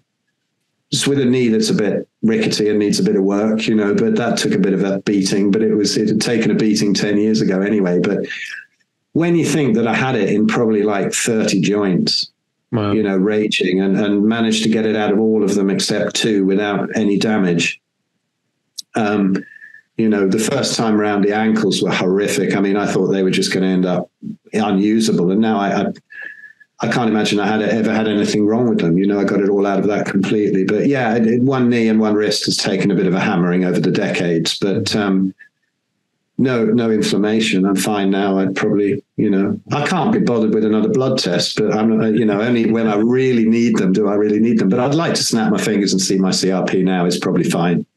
I'm sure. You know, judging by judging by how I feel, it's it's probably fine. But uh, yeah, that was a on fire, man. Definitely. Yeah, absolutely. Well, I'm glad you're doing better. I'm glad the weight's coming back on, and your kids uh, helping you with uh, the kid assisted body weight squats or kid additional body weight squats. Um, and yeah, and, and, good luck with that, Phil. Uh, it's been an absolute pleasure. It's great to see you as always. Uh, where can people find you and reach out and see your stuff? Uh, well, you know, I got lots of stuff going on at the moment, and you know, to consults if anybody wants. You know, I mean, Anthony's way ahead here with all the science and all the medical knowledge. But if you want to chat to somebody who's actually been through it now, at the other side twice, then I've got some pretty good um, tips and tricks. Um, but uh, yeah, I'll put my link tree underneath. That's got most of the things. But one of the things that um, I'd really like to to make people aware of is is what we're doing with the Big Fat Challenge, and we've had everything recorded with like all of the ninety day uh, ninety days of, of coaching calls an hour a day on the Big Fat Challenge. They're all there. You can see how all these people are improving. We've got you know one guy doing beautifully with coming off his heart and diabetic meds and lovely stuff like that, and all sorts of people losing weight as they go along, and me putting the weight on. I was going the opposite way to everybody else. And um, you know, we've got challenges each week of different things to clean up from your diet and and in your environment and whatever, and all all kinds of stuff. Um, all sorts of extras and uh, extra courses and books. And we've got our Red Pill Food Revolution book coming out, which Right. Honestly, I think is just about the. It's it's all credit to to Ben. I mean, five, four of us were on it, and and and we we sort of did Zoom calls on each chapter, and but Ben put the words together. Mm-hmm. and honestly, I think it's it because Ben put it together. I can say that, but it's he's a beautiful writer, and he has done the most incredible job and it's one i think one of the best probably the best thing of the history of our diet and how it's all gone wrong and how we've been fooled by the elites and into plant-based diets and through religion and all of this nonsense and corrupt studies and you know it's not a full-on carnivore book although that's you know obviously uh, um, approved of but mm-hmm it is really what's happened to our diet and that kind of thing. And so you get that, and it's not even out yet. And so you get that a PDF and audio book. Actually, I sent you a link to the audio book. Have a listen. Tell me what you think. I, I sent it a while ago. I, I, think you've got access to the folder, but it's Ben's done it on audiobook now, and um, it's really good. The comments we've had back on it are amazing. And we do it to pay what you can afford. So you know you can get it. I think we put it up for ninety nine dollars or whatever, but, but, like you know nineteen dollars you can get. That's that's probably the same as the book when it comes out. You get all the other things. But anyway, we do that in the Big Fat Tribe. We still carry on with the calls if anybody needs some support. I know a lot of people they can go into carnivory and they're fine. They know what to do, and that's cool and, and, and well done. But if you fancy coming on, uh, there we go. That's at www.thebigfatchallenge.com. Perfect. And uh, that's what we're doing. Great. We'll put that in the uh, in the links below, as well as your link tree, and so people can find you there. And uh, I hope they do. Phil, great to see you as always. You too, man. Thanks so much for having me on. No problem. Good to see you. I was just going to say, you know, lect- that that's a big thing. Like, there's a ton of different kinds of lectins, and there there are some lectins. There's, you know, it's a class of molecule. There's there's a there, there are some lectins in meat. They they don't seem to cause a problem, but these lectins in plants use it as defensive sort of uh, mechanisms they cause huge problems. One of the problems are that they bind uh, different nutrients. And so when you eat this in, in combination uh, with something that actually has some nutrition, which plants, you know, generally have a lot less. And that was a whole argument in the 80s. I'm sure you remember, you know, they said, oh, you want to lose fat, eat plants, eat celery because it has less calories than, you know, it, there's less calories in that you'll get out of the, the celery than it'll take to digest it. So you'll actually lose calories. So if you eat celery, you'll actually be burning calories. It's nonsense. And so, you know, that that's one of the things though, is that these lectins and, and, and other properties in plants, they actually bind to nutrients that you need and, and, they make them unavailable. And then it gets worse of course when you have um, you know uh, like gluten and so forth will will you know split these gap junctions in your cells and cause leaky gut. And then uh, all you know these lectins can get in your bloodstream and then it starts binding to things they're not they have no business binding to in your body and letting in bacteria and so forth. Uh, and that's another thing too you know we're talking about about nutrients. Um, you know the the nutrition facts that are on the box generally mean nothing if it's a plant-based food item because they're just looking at, at you know you know for protein they look at actually total nitrogen which is not true. Crude, crude nitrogen is not necessarily protein okay? So you're just this is just nitrogen. It's not necessarily the form of protein but they consider it that. And so usually only a smaller percentage of that is actual protein. But then it's like what are, what are the proteins? Because a lot of proteins in plants cannot be absorbed they cannot be broken down 80% of the protein in wheat is gluten, and that is inaccessible to your body. You cannot use that as, as a protein nutrient source. All it does is screw up your gut and cause leaky gut. And so you're like, oh, look, I'm eating wheat. Look at all this protein I'm getting. No, you're not. You're not getting any of that crap. And so, you know, it causes huge problems. A, the, these these uh, nutrients are not bioavailable. You know, you're just saying, oh, it has this iron, it has this, it has that. Your body's not absorbing that, so that doesn't count. You know you really can only you know when you're looking at meat all that stuff is bioavailable unless you eat it with a salad or with you know something like that you know or pasta or rice or whatever because you're eating these you know, lectins and other sorts of factors that bind the pro- the the nu- nutrients and so forth that you want. It screws that up. But if you're eating it uh, you know meat on its own your body gets that. You know after your gut's healed and so forth you're you're going to get you know predominant amount of nutrients and so forth from that. You just don't from plants. These things cause serious harm in your body as a poison and also with lack of nutrients and binding actual real nutrients and so forth. So people people don't don't realize just how multifactorial bad these guys are. You got your mic. Got some raging. Sorry, can you hear me uh, now? Yeah, I got you. Yeah. Sometimes it takes a while to kick in this Yeti mic. I see we've got the same sort of phallic Yeti mic, although mine yeah. is multicultural. Oh, there you go. Yeah. yeah, I, I you know the the um the um when you have autoimmunity, you know, I, I mean, there's a there's a, an old um, saying about bipolar people, isn't it? They're like everybody else, only more so. Yeah. And it's the same with it, it's the same with autoimmunity. you can you can feel what go, what goes on. Like I found that when I was really uh, uh, sick, very flared up, if I had like two mouthfuls or just a couple of fries, I would feel it in the pain the next day. But if I ate half a bar of chocolate, I was fine. Hmm. And it's, people get focused on the sugars, which are not good. But I think when you're autoimmune, the, the anything fibrous is is is way worse. Yeah. I mean, you know, I'd eat a bit of broccoli and I would be in much more pain than if I ate, um, you know, some some ice cream or something. Yeah. like the dairy's not that good, but you know, dark chocolate or whatever, whatever, even though it's got oxalates in it, which I would definitely avoid these days, having had the kidney stones from them, from my juice. I used to do these smoothies, these healthy smoothies in the morning, and what they used to consist of was a, a couple of avocados, two packets of spinach, almonds that I'd soaked overnight so that they'd sort of liquidize, and then a whole bunch of uh, maybe coconut milk and, and a load of honey, you know. And to be honest, because of that stuff, it covered up the taste of the of the spinach and whatever, or the enormous amounts of kale and spinach, and it would actually taste pretty good, like a like a bit of a milkshake. But my God, it was oxalate soup, you know, Yeah. and that's that's what that's what caused the kidney stones. A total overload. I, I did. yeah. Um, but but yeah, when you're autoimmune, you can feel something very very quickly.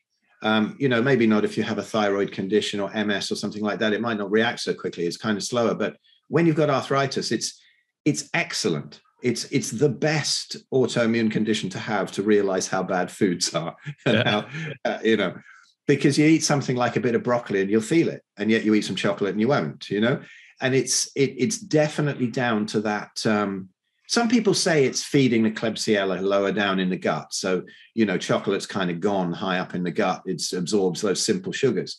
But then when you get the, the, the fibrous stuff further down into the gut, carried down there, then it feeds these Klebsiella, which are kind of associated with things like ankylosing spondylosis and whatever.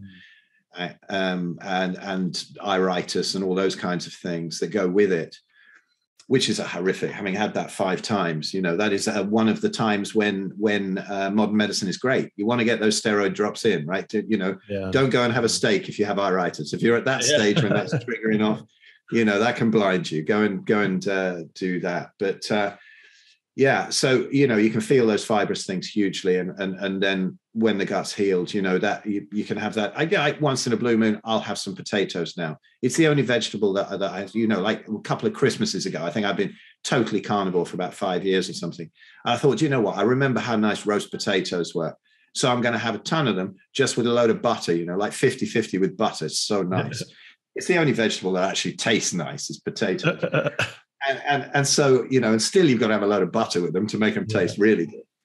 And there was no reaction at all, nothing whatsoever. And I thought that's ace. You know, one mouthful of that, like 10 years ago, would have would have put me on the couch for ages. But um, yeah, so that is uh, that that's that's really I see it in my in, in my clients as well. You know, they go, oh well, you know, broccoli's healthy though, isn't it? I can have that as long as I cut out chocolate. And I go, cut out both. But if you're going to have one, have a bit of chocolate because it, uh, it will hurt a lot less. You know, we just don't realize how horrific these things are. yeah. Amazing. It's yeah, I guess it's hard for people you know, because people still think that just vegetables are good for you. It's very hard to undo that because we just we've been told and brainwashed by our parents generally, you know, since since we were born, the vegetables are good for you. Eat your vegetables, and they, you know, they end up you know becoming a you know broken horse where they've just they've broken down like okay, they fought against it, fought against it. I hate broccoli, I hate vegetables, and then finally they were just broken. Like okay, just tell me what to do, and they're just this docile creature, and and it's hard to undo that, but you know it's um it is one of those things because and i think too because you know in the car in the in the keto uh range of, of people obviously you do eat vegetables and can eat vegetables. And so that's one of the things that people because they think vegetables are so good for me they go keto and then they're like well i have to get my nutrition from vegetables. They, they they're not realizing the meat is actually the nutrition. And they, they think that's a trick some trick of nature. You're tricking your body into thinking it's starving to death and and somehow dying is helpful. Um, it's not generally as a rule of thumb dying is, is makes you dead and so um, you know these people end up going keto with like a they'll start eating massive salads taking lots of, of vegetables and so forth. And i think they harm themselves. I think a lot of people when they get like a keto flu you know they could be be de- you know uh, detoxing uh, from certain things and uh, withdrawing from sugar. I certainly see that. Show coffee as well. And and then the tons and tons and tons and tons of vegetables and so forth like you're saying like oxalate soup and and these people just feel like crap for a while and i i don't really see any reason why they wouldn't, I would feel like crap. And you know, when I do see when I get my patients and friends and so forth to go on carnivore, and I just they just go pure carnivore, not no artificial sweeteners, so forth. Those things are they're nasty. Um, I don't see them get a you know a keto flu or something, which doesn't make sense. You know, you you've done you've done fasting and so forth. Did you get the flu two days into fasting ever? No. And so no, you know, yeah, exactly. And so you know the biochemical switch from running on you know blood sugar and having you know hyperinsulinemia to going back to a normal metabolic state where your body can can uh, mobilize and utilize your fat stores why would that make you sick? Why would that that give you an inter, you know raise your interferon and so forth and make you feel fluish? That doesn't make sense. Uh, and it doesn't happen because people just skip meals or fast or whatever. You know every every you know practicing christian or practicing um, muslim every year for lent and ramadan would just just be, have the flu for a month but they don't. You know they actually feel better and and you know everyone you have you have tons of studies showing that people feel better look better are better reverse disease and so forth going on you know fasting and so forth. And they you know mimic that by putting them on a fasting mimicking diet which is just a ketogenic diet. And so you you don't see that. And i think that you know part of that is going to be withdrawals.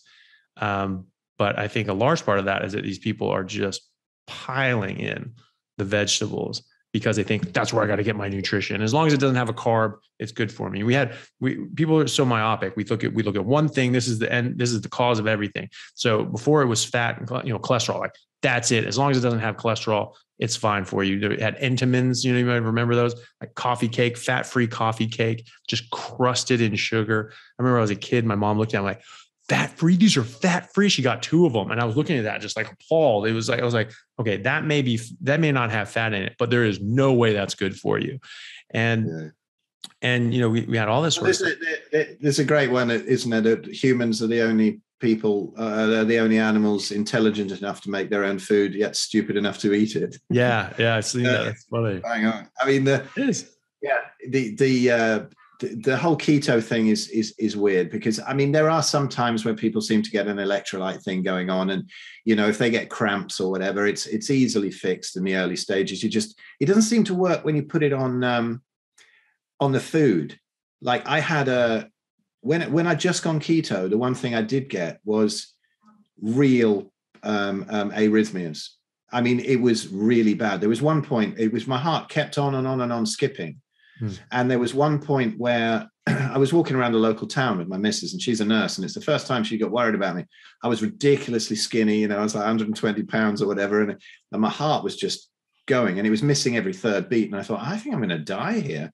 And so I actually went to hospital, and they said, um, "Yeah, we think you, you, might be having having a heart attack or whatever." Mm. and so I, uh, I, I, they stayed me. They well, they sort of got me in an ambulance, blue lighted me to another hospital, spraying this stuff under my tongue, you know, whatever.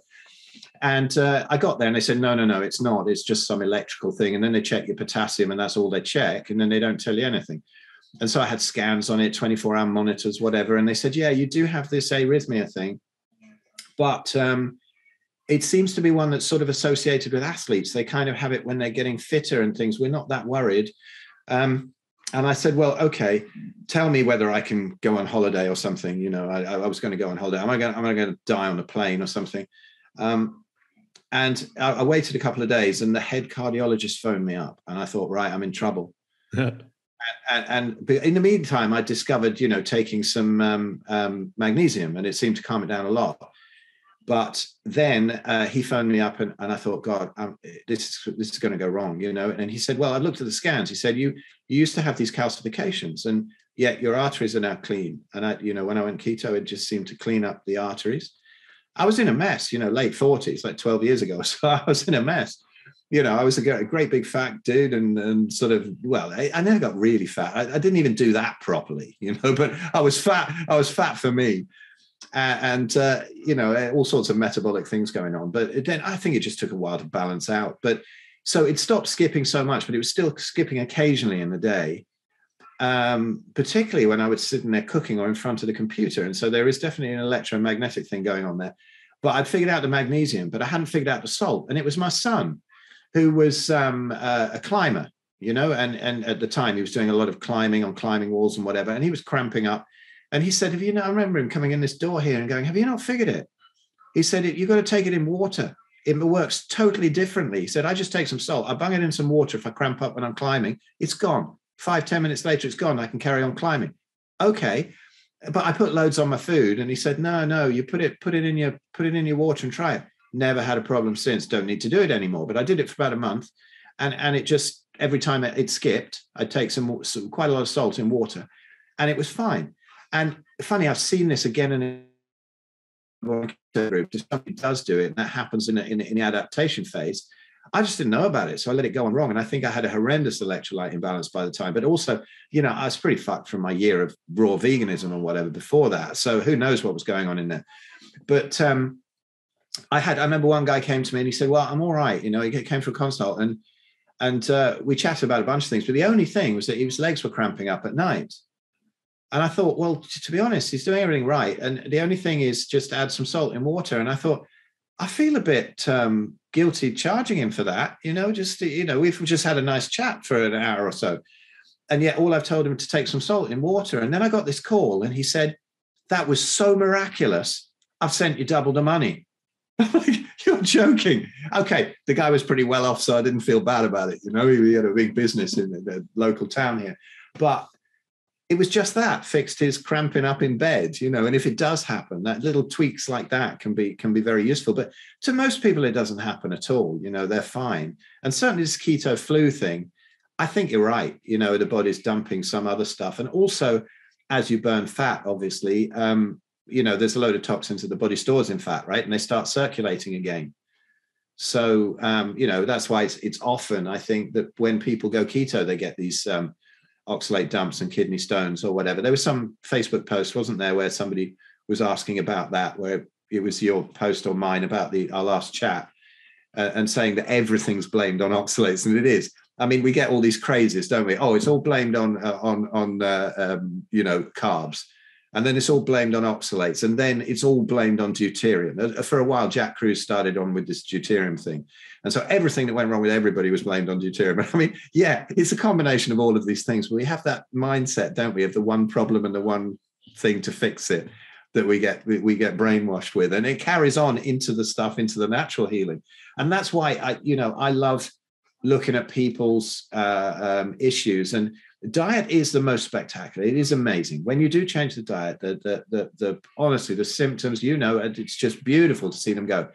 And then there's things to to to sort of mop up those little polishing techniques, and you get people uh, like a guy yesterday, you know, and he had he has all sorts of uh, neuropathy, and he has um, psoriatic arthritis and and other things. Guy I was talking to, a lovely dude, and he's just you can see his mood coming up his mood coming up. And then suddenly he, he I, I, found out right he's a trader and he's in front of the screen you know and and and he's still getting this neuropathy and he's still getting sort of agitated and really wound up. And his, his stress is not coming from how much he hates his work. It's because of how much he loves it and how it's too exciting you know and so it's chronic stress still. But he's also got that blue light all day. And i just said well just put iris on the computer get it get iris tech on there. It takes out the blue light, you know, and it stops the flicker as well, which can be very damaging uh, neurologically, you know. Um, and uh, and and he immediately went, my God, it just feels like a totally different experience looking at my screen. You know, I, I look at somebody's normal TV. I mean, we even have an orange screen over our TV here because the kids won't wear the blue blockers. Um, and it's it's funny, isn't it? As as as a somebody who advises people on stuff like this, it's very difficult to make any money because you can't do all the supplements and stuff. I mean, finally, I thought, somebody came to me and said, "Oh, you've got a big reach in the carnivore world. Will you sell these dried supplements? You know, like Shawn, like like uh, sorry, Shawn, sorry about that, like Saladino does." And I remember Shawn actually on Twitter saying, "Why don't you just go back to selling supplements and dog food?" Did you see that one? Oh, was funny. And I put this picture up underneath of these two really fat women just fighting with gloves on. I don't think Saladino found it very amusing, but Shawn but you know and and so you, you can't do anything. So somebody came to me you know with these all these products of, mixed uh, desiccated organ meats and liver and, and, blah blah blah. I thought yeah finally for people who can't face the liver who want to do that maybe something i can sell you know that'll be okay. And he sent me some supplements and do you know what? They just felt wrong in the body. I don't know what it was. And then i i, I had a chat with um, uh, on online with um, um, Csaba Tóth at Paleomedicina and Zsofia and said, look, they all say that there's no nutrient damage in this and they're all fine. It's just like the real thing. Is that right? And they went, nah, come on, you know, no, it damages stuff. I mean, it's processed food, isn't it? Is it anything that's processed that we're mucking about with? So I thought, well, I can't even sell them. So like, what, what can I do? Well, I can sell is blue blockers. You know, that's yeah. now the only thing that, that a carnivore a sort of health coach can sell. Um, apart from the knowledge. And that's great. That's fine by me because it takes that simplicity, like my autoimmunity course, the subtraction course, just telling people how to get off that pin and not take the aspirin for the pain. You know, uh, it's it's uh, it, it's it's so miraculous. It's taking the stuff away. But yeah, I, I, I agree with you about the processed stuff. I, I think that. I think I think those desiccated organ meat supplements. I think they're a bit of a waste of time as well. You know, if you're not brave enough to eat a bit of liver, maybe your body's telling you you don't need it, or or maybe just yeah. man up and do it and whatever. You know, but just nah, no pills. Can't be asked with them. Yeah, yeah, that's my my big thing with with uh, supplements is, you know, if you need to take supplements to get basic nutrition, then by definition your diet is deficient, and a carnivore diet isn't. And you know, if you, I, I go a lot by taste as well. Like you say, you know, if, if you're if you're rejecting liver, you maybe your body doesn't want it. Raw liver tastes very different from uh, cooked liver as well. I found it actually tastes good. I, I, I actually like raw liver. Uh, that's something Adelle Davis, who was one of the early nutritionists in the in the early 1900s. You know, she wrote several books on nutrition. She actually was way ahead of her time. And one of one of the big things that she she came back to regularly was raw liver and uh, and seemed to help quite a lot of people. And and she actually was already subtracting things out, like okay, well, people are having problems with certain things. Well, let's what are you eating a lot of? Well, let's take that away. Let's take that away. Let's take that away. Let's see what happens, and then see how you're doing. We'll add it back in, and then people actually had big reactions to it. You know, because as we see in carnivore community, and you know, I'm sure in certain ketogenic uh, people that have eliminated something from their body for a long time, they don't have the same tolerances that they had. And then when they reintroduce this after several weeks or months they can feel a, a bigger effect. And part of that is the contrast. You're just you're, you're feeling healthy now for the first time in your life. And now this is making you feel less healthy and you can see that. Whereas before you had so much stuff going on in your system you just always felt like crap but you called that normal. And now you actually feel normal. You actually feel great and and now that's bringing you down. So you can see that. But also because you you don't have as as many you know uh, defenses and so forth, and tolerance is built up for these sorts of things. So it, it could ostensibly hit you harder. And so she she found this as well that you reintroduce these things and people get slammed with them and go, okay, avoid that thing, whatever that was, stay the hell away from it. Um, I found that if you if you slice up liver and like salt it and put it on dry, I, I I don't know, you know, some people see my videos, but I take my steaks I, will wet age them and then I'll cut them up into steaks and I'll, I'll salt the outside and I'll put it on drying racks where they're not touching. You can't have them touch or they'll have moisture and, and um, bacteria growth. But it's something that Alton Brown, uh, who's a you know celebrity chef, talked about and, and um, that my mom picked up. She loves loves cooking, and I just started picking up. And I now I, that's all the only way I eat meat is like I'll salt it and leave it for at least a day, if not several days, and it'll dry out more. It will brown so much better. It'll cook so much better. It tastes so much better. And I did that with liver. And after just a day or two, it tasted better than any piece of liver I'd ever had in my entire life. And then after several days, it started turning more dry and started getting like this gummy texture to it. It was like it was like gummy meat. And like that sounds disgusting even to me, but like I loved gummy candies. Those were my favorite candies growing up. And all of a sudden I'm eating like gummied meat and I just loved it. I'm like, oh my god, this is amazing. And so that taste was was a good response for me. But you know, after a little while, it was like it was it was nice to sort of do that. But uh, eventually, I was just kind of like, yeah, that's enough. I didn't I didn't really want any more. And um and that was it. My son did that. My, my yeah. six year old, you know, who you met, and, and and he used to just you could give him a whole plate of liver, and he'd ask for more. Yeah, you know, he knows. And now it's like no, nothing. Yeah, he's had enough. His body's just had enough of it. Yeah. Yeah. Yeah. And, and that and that's how taste goes. You know when i when i'm eating a steak you know when i'm hungry when i haven't eaten it's the best damn thing i've ever had in my life because my body wants those nutrients so i'm getting that positive feedback. And as i keep going it just tastes uh, slightly less good slightly less good and i eventually get to the point where it's like really not enjoying this anymore. That's why i generally tell patients how to gauge how much to eat especially if they have had you know very differing portions some people not eating enough some people eating more than they should and so that to readjust their portions they need to learn how to listen to their body and one of the main things is is listening to the taste and i've certainly noticed that with liver and you know since then i, I you know i haven't really felt the need to get any more liver i just i bought it once um, I've and people keep asking, "Oh, you have to organ meat, you have to do this." And no, not really. You don't. You can if you want to, but you don't need it. And I can count on the fingers of one hand the amount of times that I've eaten liver in the last 20 years that I've been doing carnivore off and on. And I can count on the fingers of two hands how many times I've ever had liver in my entire life. Hands down. I don't take any supplements. I don't take, you know, uh, any any, pills or or certainly don't take any any hormone supplements and so forth. My, all that was fine, and, and and I don't even need to take um, vitamins and magnesium and zinc, even though I'm in a zinc and magnesium deplete country. Uh, everything's just fine. And so, and I don't eat liver either. And I've been doing this a lot longer than uh, people like, you know, Dr. Saladino has. So I, I don't know why he's seeing the issues that, that he is. Generally, when I see patients struggling with um, carnivore, you know, early on, you can have some, some, you know, electrolyte sort of imbalances and you can you can sort of give a bit of supplementation at that point. But you can test for these things and you can see if that's what's going on. It's like, oh, my magnesium is probably low. Let's test your magnesium. It's not low. Okay, so that's not it. And then you know move on from there. But you know, you, generally those sorts of things like the cramping, I generally find that you get a bit of that in the beginning and then sort of normalizes uh, afterwards. And it sounds like you did as well. I even got a bit a bit of cramping um, for a bit, and then like I went to you know the tropics. I was in uh, uh, Bali and I was just getting outrageous cramps in my calves like every night. And I did the same thing. I put a bit of salt in a in a thing of water and I just drank it. And it would calm down. I could go to sleep. But that happened every night for like three days, and then it and then my, it just my, my son my son who um, told me about that now lives in Bali. Oh yeah, yeah. Well, yeah. You need to know it there.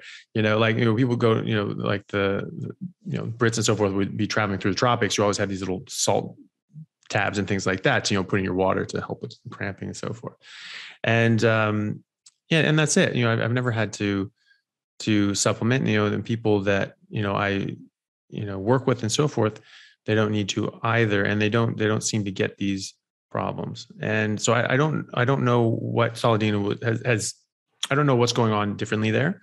Um, but you know, you know what I think it is. You know what I hmm. think it is. I mean, I used to listen to tons of his podcasts, and they're absolutely fascinating how he goes through the science and whatever. I can't take mm. in more than 10% of it. I just sort of listen to stuff and I go, oh, maybe that's why that worked in practice. You know, all I see is things working in practice. Yeah. And it's very, very simple. And to me, it's it's about I got one, one there's a video on it on my YouTube channel about is eating only meat boring or something. Um, and it's about how, when you refine your tastes, when it goes from wanting all the time you want pizza and chips or ice cream basically because you know that combination of fat and carbs that doesn't happen in nature that is hyper palatable and and and away it goes you know you can't stop eating them. But once the tastes have refined you start to get really interesting things like i'll have a day where i'm totally averse to beef but i really want lamb. Yeah. And vice yeah. versa or I'll have a day and it doesn't happen so often where I go, do you know what? We need some oysters, you know, and we'll have a great big oyster binge, you know, and just eat them all raw. And then I'll, I'll end up with a really bruised hand, you know, from opening the yeah. damn things. And I'm going, right, I'm not doing that again for a while. They're too much hard work for what you get out of them. But something in me tells me I need that. And sometimes I just, I, I used to eat eggs every day, right? But not anymore. I don't like the whites. I think they're very inflammatory, particularly for people with any any autoimmunity. They can be very very mm-hmm. painful, and the yolks can even in the early stages. But they're, they're, it's great nutrition in there. And every now and again, I just want some yolks, and and I, I, have this feeling that I just need a ton of egg yolks over some burgers that I'll grill. You know that I'll make up from some ground beef or whatever. And then I don't want them for a while, and you get that sort of subtle uh, taste where where where you've got rid of the the the, the mad frenzy for carbs and, and, and fat combination but you just kind of know what type of meat you want. And i've got too much liver in the freezer now and we just hardly ever get it out. But you know like once every couple of months i'll go yeah i need some liver. And and i'll cook some up and the first bit is great you know and that's fine. And then i kind of leave them in the fridge and just eat a couple of bites like a carnivore biscuit while I'm cooking something else, you know. And then after a couple of days where it's been in there, and I go, do you know, I just don't want any more. Anyone want any of this liver? No, we don't want any more. You know, I've had enough. You know, and it ends up, you know, either force yourself or just throw it away. And it's the only meat I ever throw away because you don't you don't get the wastage that you get on plant foods, do you? You know, but if they've given you too much of a big pack of liver and you cook it all at once, the first little bit is fine. You think, yeah, my body wanted that for that day. Mm. But after, you know, it, it, it is, it's just the, the refinement, that, that sort of subtlety, subtlety that we've lost in our taste, where we just want something that just blasts us, you know, something with enormous amount of um, sugar or, or something else horribly addictive. But um, yeah, once you've been carnivore for a while, don't you find, you know, people come along and they go, oh, I can't give that up. I could never give that up, or this yeah. or that, or whatever it is they're addicted to. And you go, well, you'll see down the line, see what happens. And sort of 30 days, they'll be going, oh, I've got such good um, results over it that I, I, I don't really, I don't really crave it so much anymore, but I still crave this and that. 90 days in, they're like, yeah, there's two or three things I could still maybe have sometime, but I'm not bothered because of the amazing results.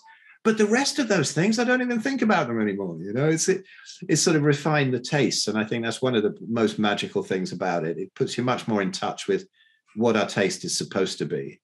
Yeah, I, I found the same thing, and you know, to the point that I have, you know, friends that have you know since gone carnivore and sort of danced back and forth with it.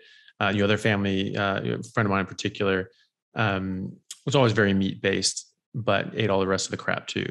And then he, he you know he tried carnivore for a while and had you know was having fantastic results but his you know his the rest of his family weren't really on board with that. And so he sort of slipped off of that. And he likes you know he likes the odd drink and so forth. And so I think that's a lot of things that, that sort of pull people off of it as well as they start they start drinking and they start sort of saying like ah well what else can I do ah, it's not that big a deal and it's sort of a slippery slope but he um you know I was talking to him one day and I was saying I was making some ribs I was smoking some ribs And he was like, "Oh yeah, you know, I've got this great recipe. You got this rub. You know, do this and have this sauce and do that." And I'm just getting horrified. I'm getting more and more horrified.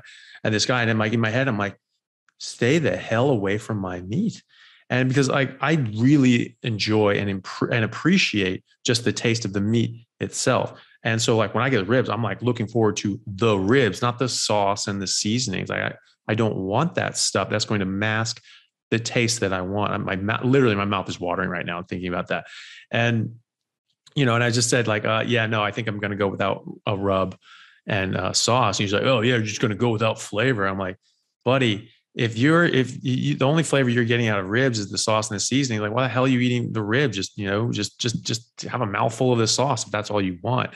You know, you're obviously cooking pretty poor quality ribs if you have to mask the flavor with all this crap. Just eat the damn meat.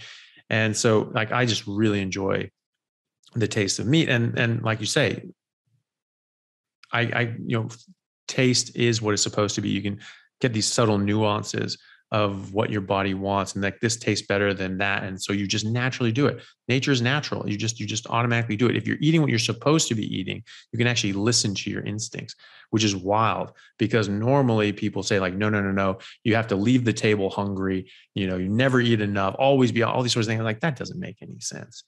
And you know they say like well when people like eat in times of abundance, then you store fat so that you go these, you know, fast, you know, fast and feast sort of things. And like, yeah, that's that can happen.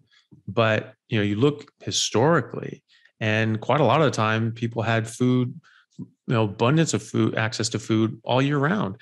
You know, the you know, early, you know, cavemen and so forth, they were running herds of of mammoths over cliffs and they were just dashing themselves to death at the bottom they were not, you know, poor on nutrition. You know, they dry this stuff and you know probably make you know a, a version of pemmican that the you know the Native Americans did, and they'd have the they'd have this meat the rest of the damn year, and they probably had a ton of wastage. You know, they probably just had so much that they had nothing to do because they could just run another elephant over the over a cliff, big deal, and um, and eat again for the month. So there were these people that, that had an abundance of food. There was, um, you know, they looked at different people, and if you, if you measured wealth by the amount of work and time and effort that you have to put in to getting what you need to eat and to live and to maintain life, if you if you have that as a measure of wealth, they found that Native American tribe on the um, on the Columbia River in Washington State in eastern Washington was the wealthiest civilization to have ever lived. Because they had these weirs set up these nets all across the Columbia River and they would catch these big 90 pound salmon constantly. And so they didn't work. They had nothing to do. They just every day they just got up and just pulled out a bunch of fish and ate it. They their entire life was leisure. The entire civilization their entire life from birth to death was leisure. And these they they didn't have to work for their food and so forth. It was always provided. And so that's not right. Uh, you know so you, you didn't necessarily have to just eat all this stuff. So you know you do have a natural off switch. You we have a thing called satiety and people have experienced it like i'm full. And so if if that theory was right that you know you just you're just always going to be ravenously hungry so that you can build up a big fat store so that you can survive days and weeks without food well you wouldn't ever stop being hungry would you but people are and when you're and when you're eating naturally you just naturally just go i don't i don't want to eat anymore um, you know pe- people think about this um, you know can think about this in, in context of you know we see in nature cows stop eating grass at a certain point you know they know when to stop you know see all these obese guys there's a lot of grass in fields tons of it. I've seen it. And so, you know, they just keep eating grass until they just, you know, just popped. But they don't. I mean, they're they're lean and strong animals. Lions, they take down a big, you know, buffalo or even an elephant and so forth. You know, they think they think that all, all these animals in the wild, or they're working out all the time and they're and they're exercising all the time and they're uh, and they're they're very food deprived. Not not male lions. You know, they generally do f all and uh, you know they involved in hunt and so forth but generally they're around for for defense of the of the pride but they get first cut of whatever they killed so they go for they get the lion's share. They generally go for the belly fat which has you know the belly meat that has the most fat. They they people say oh they go for the organs. Do they? There's a lot of fat fat in the abdomen. There's a lot of fat around the organs and so forth. That's where the most fat is is in the abdomen. And so i think that yes, they eat the organs, but I bet you they're getting a lot of fat with that as well. And that's probably the driving force there. Um, king lion gets to eat before anything else gets to touch that thing. And you'll see in, in these videos, 20 lions in a circle around. It's just, they can't wait to go in there. Their eyes are just like, oh my God, I, I just want to get in there. And they, they're not moving because, you know, daddy's going to mess them up if they get near his, his plate.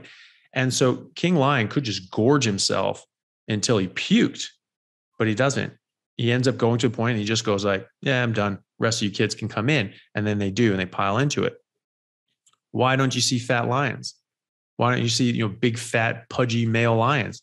You know, they say, oh, well, they, they work out so much. They're running around in the wild. No, no, no, nobody brings them any Haagen-Dazs afterwards where you get that extra yeah. stomach yeah, well, exactly. You know, because they're they're eating what they're supposed to be eating, and their body tells them, "Yeah, I'm done. I don't need to do this anymore." And people say, like, "Well, it's just because they're in the wild. They're running around all the time. They're exercising all the time." Well, first of all, we know with the Maasai that they did studies in the 80s that these guys looked like they were like Olympic champions. They were just ripped, and yet they only worked out and exercised uh, 1.6 times more than the average American, which in the 80s was very, you know, um, you know stagnant lifestyle really wasn't doing too much. But you know you you can you think about it more um, you know more directly. They say you know well these these animals in the wild they're just they're they're they're always lean because they're exercising all the time and exercise is what makes you lean. You know like as you know obviously you have to exercise and do cardio to get abs right it has nothing to do with anything else it's purely exercise and that's how you get your fat down wrong because that does not explain animals in the zoo you know, animals in the zoo live in a box the size of a small apartment, and they live their their entire lives as the definition of a sedentary lifestyle. And yet they don't, they, you know, they don't get fat. They they get ripped. They look like they're on steroids. And you know, unless they're giving them carbs and grains and crap like that, most zoos will not do that. Most zoos give animals what they eat in the wild. And as you can ask any zookeeper that knows what the hell they're doing, if you feed an animal something that it doesn't eat in the wild, something that didn't evolve on, it gets sick.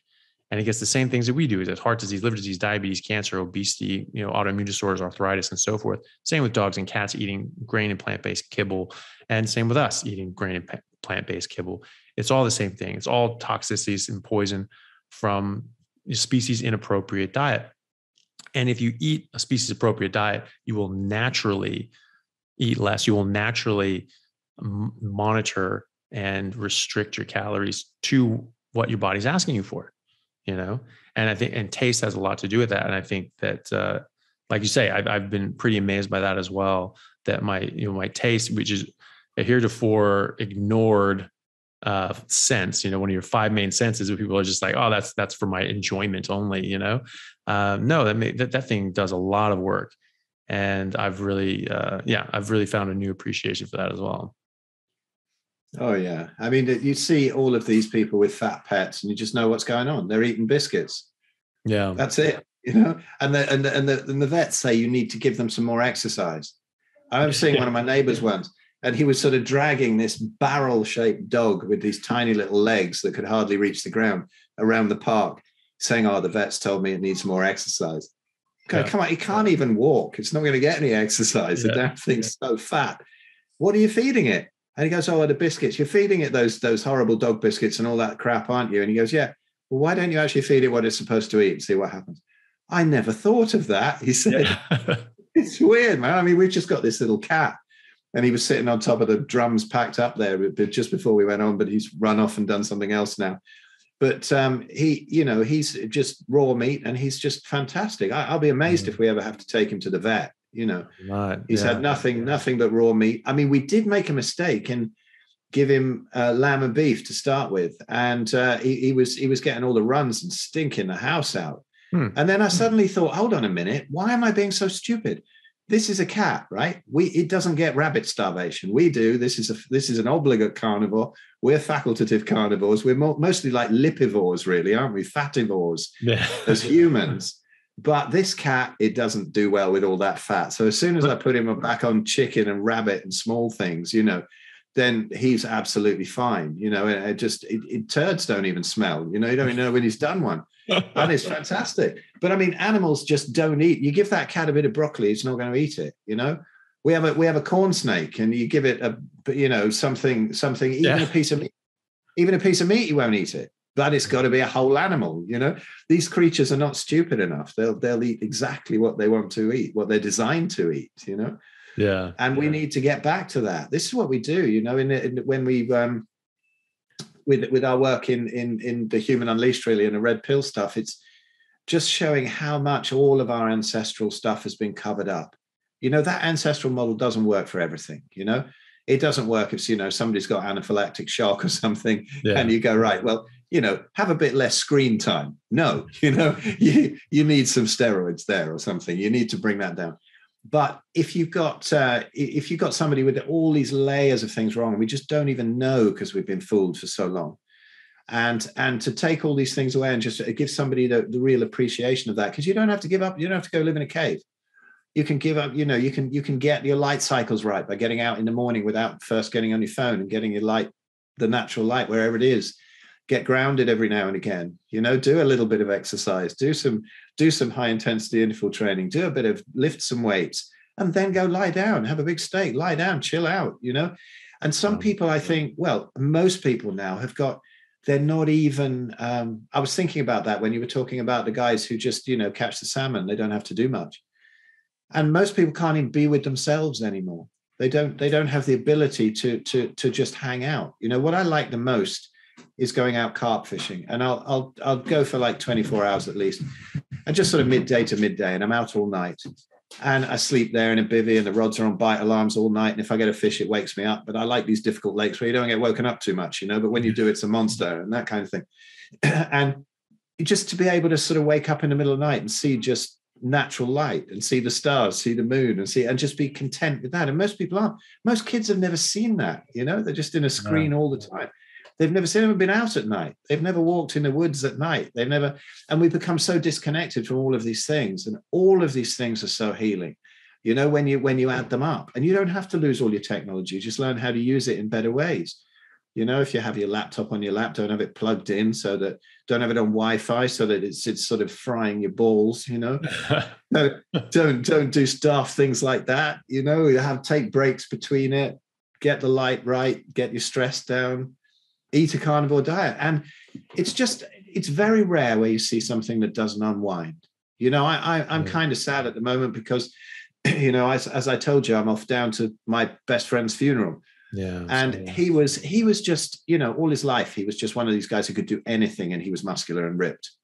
You know, he looked amazing, this dude. You know, if you think of sort of a more attractive version of Patrick Swayze, you know, that's kind of what he looked like. You know, he was always very annoying. Like he'd eat anything and just stay really ripped. But it caught up with him in a different way. And he got this ALS thing and, and just absolutely wasted away. And I didn't, you know, I I, I remember asking around, asked uh, Zsofia at Paleo Medicina, have you ever had any success with this? She said it's the one thing we've really not had success with. And um, you know, and uh, uh, Jack Kruse, you know, I, I talked to him about it, and he said, yeah, probably you could, but you'd have to do everything right for every moment of the day. He said you'd have to be somewhere completely stress free, by the sea, you know, in the sun, being grounded all the time, never doing a damn thing wrong, getting exactly the sun you need, exactly the sleep you need, exactly the food you need, and that's very very difficult to do to, do, to put yourself in that situation. But it was a it was a difficult one to to to see him sort of this sort of real powerful muscular dude end up you know really wheelchair bound and sort of stick thin um but but he was and and, and he was he just knew all about this stuff you know he knew all about it but it was too much for him but it was too late for his body uh, but unless you've got something like that which I think is is is is is one of the maybe the most terrific things. You know, all sorts of things are manageable. Like I was thinking the other day when my friend Andrew Scarborough sent me something um, about how he's being hassled at work by all these horrible, you know, mandates and whatever, and he works for the NHS here. But Andrew had glioblastoma, and he did have the the operation, and then he's controlled it since with a with a carnivore diet. Oh, great. And he was going, and you, you should have a chat to him as a neurosurgeon. I think you, you'd, you'd find some great stuff to chat to. He's pretty well known out there. There's a load of interviews with him and whatever. He's he's pretty young, 36. Um, I met him a few years ago when I was at the uh, biohacking summit doing a, a, a, a chat with Jack Kruse um, uh, with him on the stage. But- send, me send me his information. Yeah, that'd be I cool. will to do. I will do. Yeah, yeah, yeah. But I mean, you know, I think I think I was thinking about that. That you'd you'd have a real interesting chat with him. Hmm. So I believe there's another guy who's who's who's reversed it with um, without having the surgery at all. Um, because you were saying, you know, sometimes it pops up in other hemispheres and whatever. Yeah. You know, even if you cut it out, and obviously if you don't change your your your, your lifestyle, it will do. But I think when people have something like that, they're so terrified. They'd be very terrified to go down the natural route. But Zsofia uh, and Csaba, they've got results with with brain tumors. You know, they're uh, reversing them or at least stopping them. You know, on this their Paleolithic ketogenic diet, as they call it, the you know very high fat um, carnivore diet. And uh, people are sort of making inroads into that. But but Andrew's very knowledgeable about all of that, and, and he'd be great to chat to. You know. Mm. Uh, uh, he's he's a good guy. He's done it. He's got a lot of stuff out there. I'll, I'll, send you his contacts. I'll, I'll, I'll hook you up on Facebook or whatever. But um, yeah, I, I think that pretty much anything, any lifestyle disease, autoimmunity, metabolic stuff, this will nail it. So, you know, if anybody's listened to this, and um, I, I'm definitely going to put this one up in my um, in my arthritis group. So, guys, if you know, if you're listening to this here, look, you know, it's not just it's not just some daft old drummer here who's saying that. Yeah. Here's a dude who understands about this stuff and has been at it for like 20 years or so. So, you know, uh, I think uh, I, I think it would just be lovely when it comes out in the mainstream, you know. And uh, but will it? It's just the corporations, isn't it? And Yeah. this is what we're trying to uncover in the red pill stuff the history of how diet's gone wrong and how it's been covered up for religious spiritual reasons to sort of make people suggestible and weak and Hmm. any, any sort of rulers you've seen the rulers and then they feed all their their slaves grain and they're all in there eating all the meat you know they know it's fine and and the slaves they can eat this this crap you know. And this is how it's been done over the happening again and you know old bill gates and he's pushing his plant-based crap and all of these corporations are. And this is this is how it's um this is how it's happened and I think at the moment, I think with all the, the sort of hoaxes going on, and I won't get your channel pulled down by getting into those subjects now, but, but you know, it's it's it, it's obvious that we need to make a make a stand for meat because of the, Yeah. all the pandemics and that they're faking and and and uh, you know among the livestock as well. Um, you know, obviously, I would never suggest that, uh, uh, our present situation is a hoax. Wash my mouth out. but you know, um, that's what we're trying to do. And we've got a book coming out called the, the, the, the, sequel to the Red Pill Revolution, which was more general of how this has mm. happened, the Red Pill Food Revolution. And honestly, I think it's a beast. It's all five of us contributing to it, and Ben writing it up, Ben Hunt. So it's it's it's Graham Norbury and uh, Dr. Jeremy Ayres, John Gusty, and me. And I think we've really nailed it in this one. It's sometimes something just touches you where you know, like you get Monty Python, which was great, but then suddenly they did the Life of Brian, which was came from God. I think yeah. you know, it was it was just inspired, and I think this is our version of this where we've just nailed it with this book, and we just keep looking at it, going, "Wow, that that is really good," and and you know. Ben's really modest and and and and he just sort of put up privately, so I'll embarrass him here where he said, "I think this is the best book I've ever read, let alone written." and I think I think you're right. I think we just sort of got, got, that right combination of coming at it from all the different angles, and I just love it when I see uh, somebody like you speaking out because you know you you um, with letters after your name and stuff like that. It's uh, it just inspires people so much, and you bring people in so much more, and uh, brilliant. So you know, let's carry on. Absolutely. Getting this crap blown up, shall we? Yeah well, Phil, hey, I, I really appreciate you coming on. Uh, how can people get in touch with you? How can they find your work? Ah, oh, thank you. Um, well, my website is called pureactivityoneWord.net, and um, I'll send you this stuff for the show notes, but uh, or philescott.com apparently goes to it. And that's my my website with um, with consults and blogs and this and that. Um, all sorts of stuff on there. But my YouTube channel, just under Phil Escott, has a lot of carnivore stuff on it. And um, uh, autoimmune issues, uh, sort of hopefully with some ideas about those. And um, I have a, a, course, an online autoimmunity course called the Subtraction Method that you can find through my sort of uh, Facebook groups and whatever.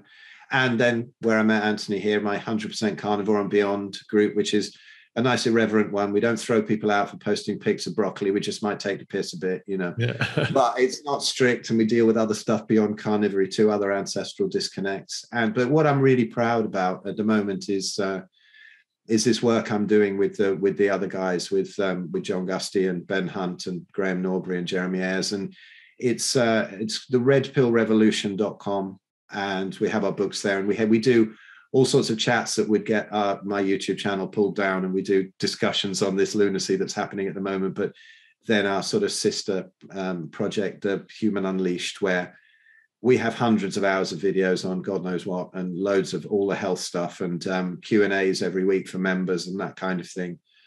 And, and we have a lot of fun on there too. You know, none of this is very serious. Um, well, we're dealing with very serious issues, but we have a lot of fun between us and get on real well. So you know, we're going to have to get Andrew on there as well to talk about about some of the things that he can't talk about too much in public. And he teased me with some of them last time off air, and I've I've I've excited the boys about that as well. So maybe we'll sneak him on there to talk about some naughty stuff. But uh, yeah, so that's that's where you can find me really. But you know, put my name in Google or YouTube; it'll probably come up. Perfect, great. Hey guys, thank you very much for taking the time out to listen to what I had to say. If you like it, then please like and subscribe to my YouTube channel and podcast. And if you're on YouTube, then please hit that little bell and subscribe, and that'll let you know anytime I have a new video out, which should be every week, if not more. And if you could share this with your friends, that would help me get the word out and let me know that you like what I'm doing. So, but when you're on a carnivore diet and you're you're fat adapted, keto adapted, then you will you will just constantly replenish your glycogen and your ketones uh, from your fat stores. We know this from from studies in wolves in 1981. They said they oh you know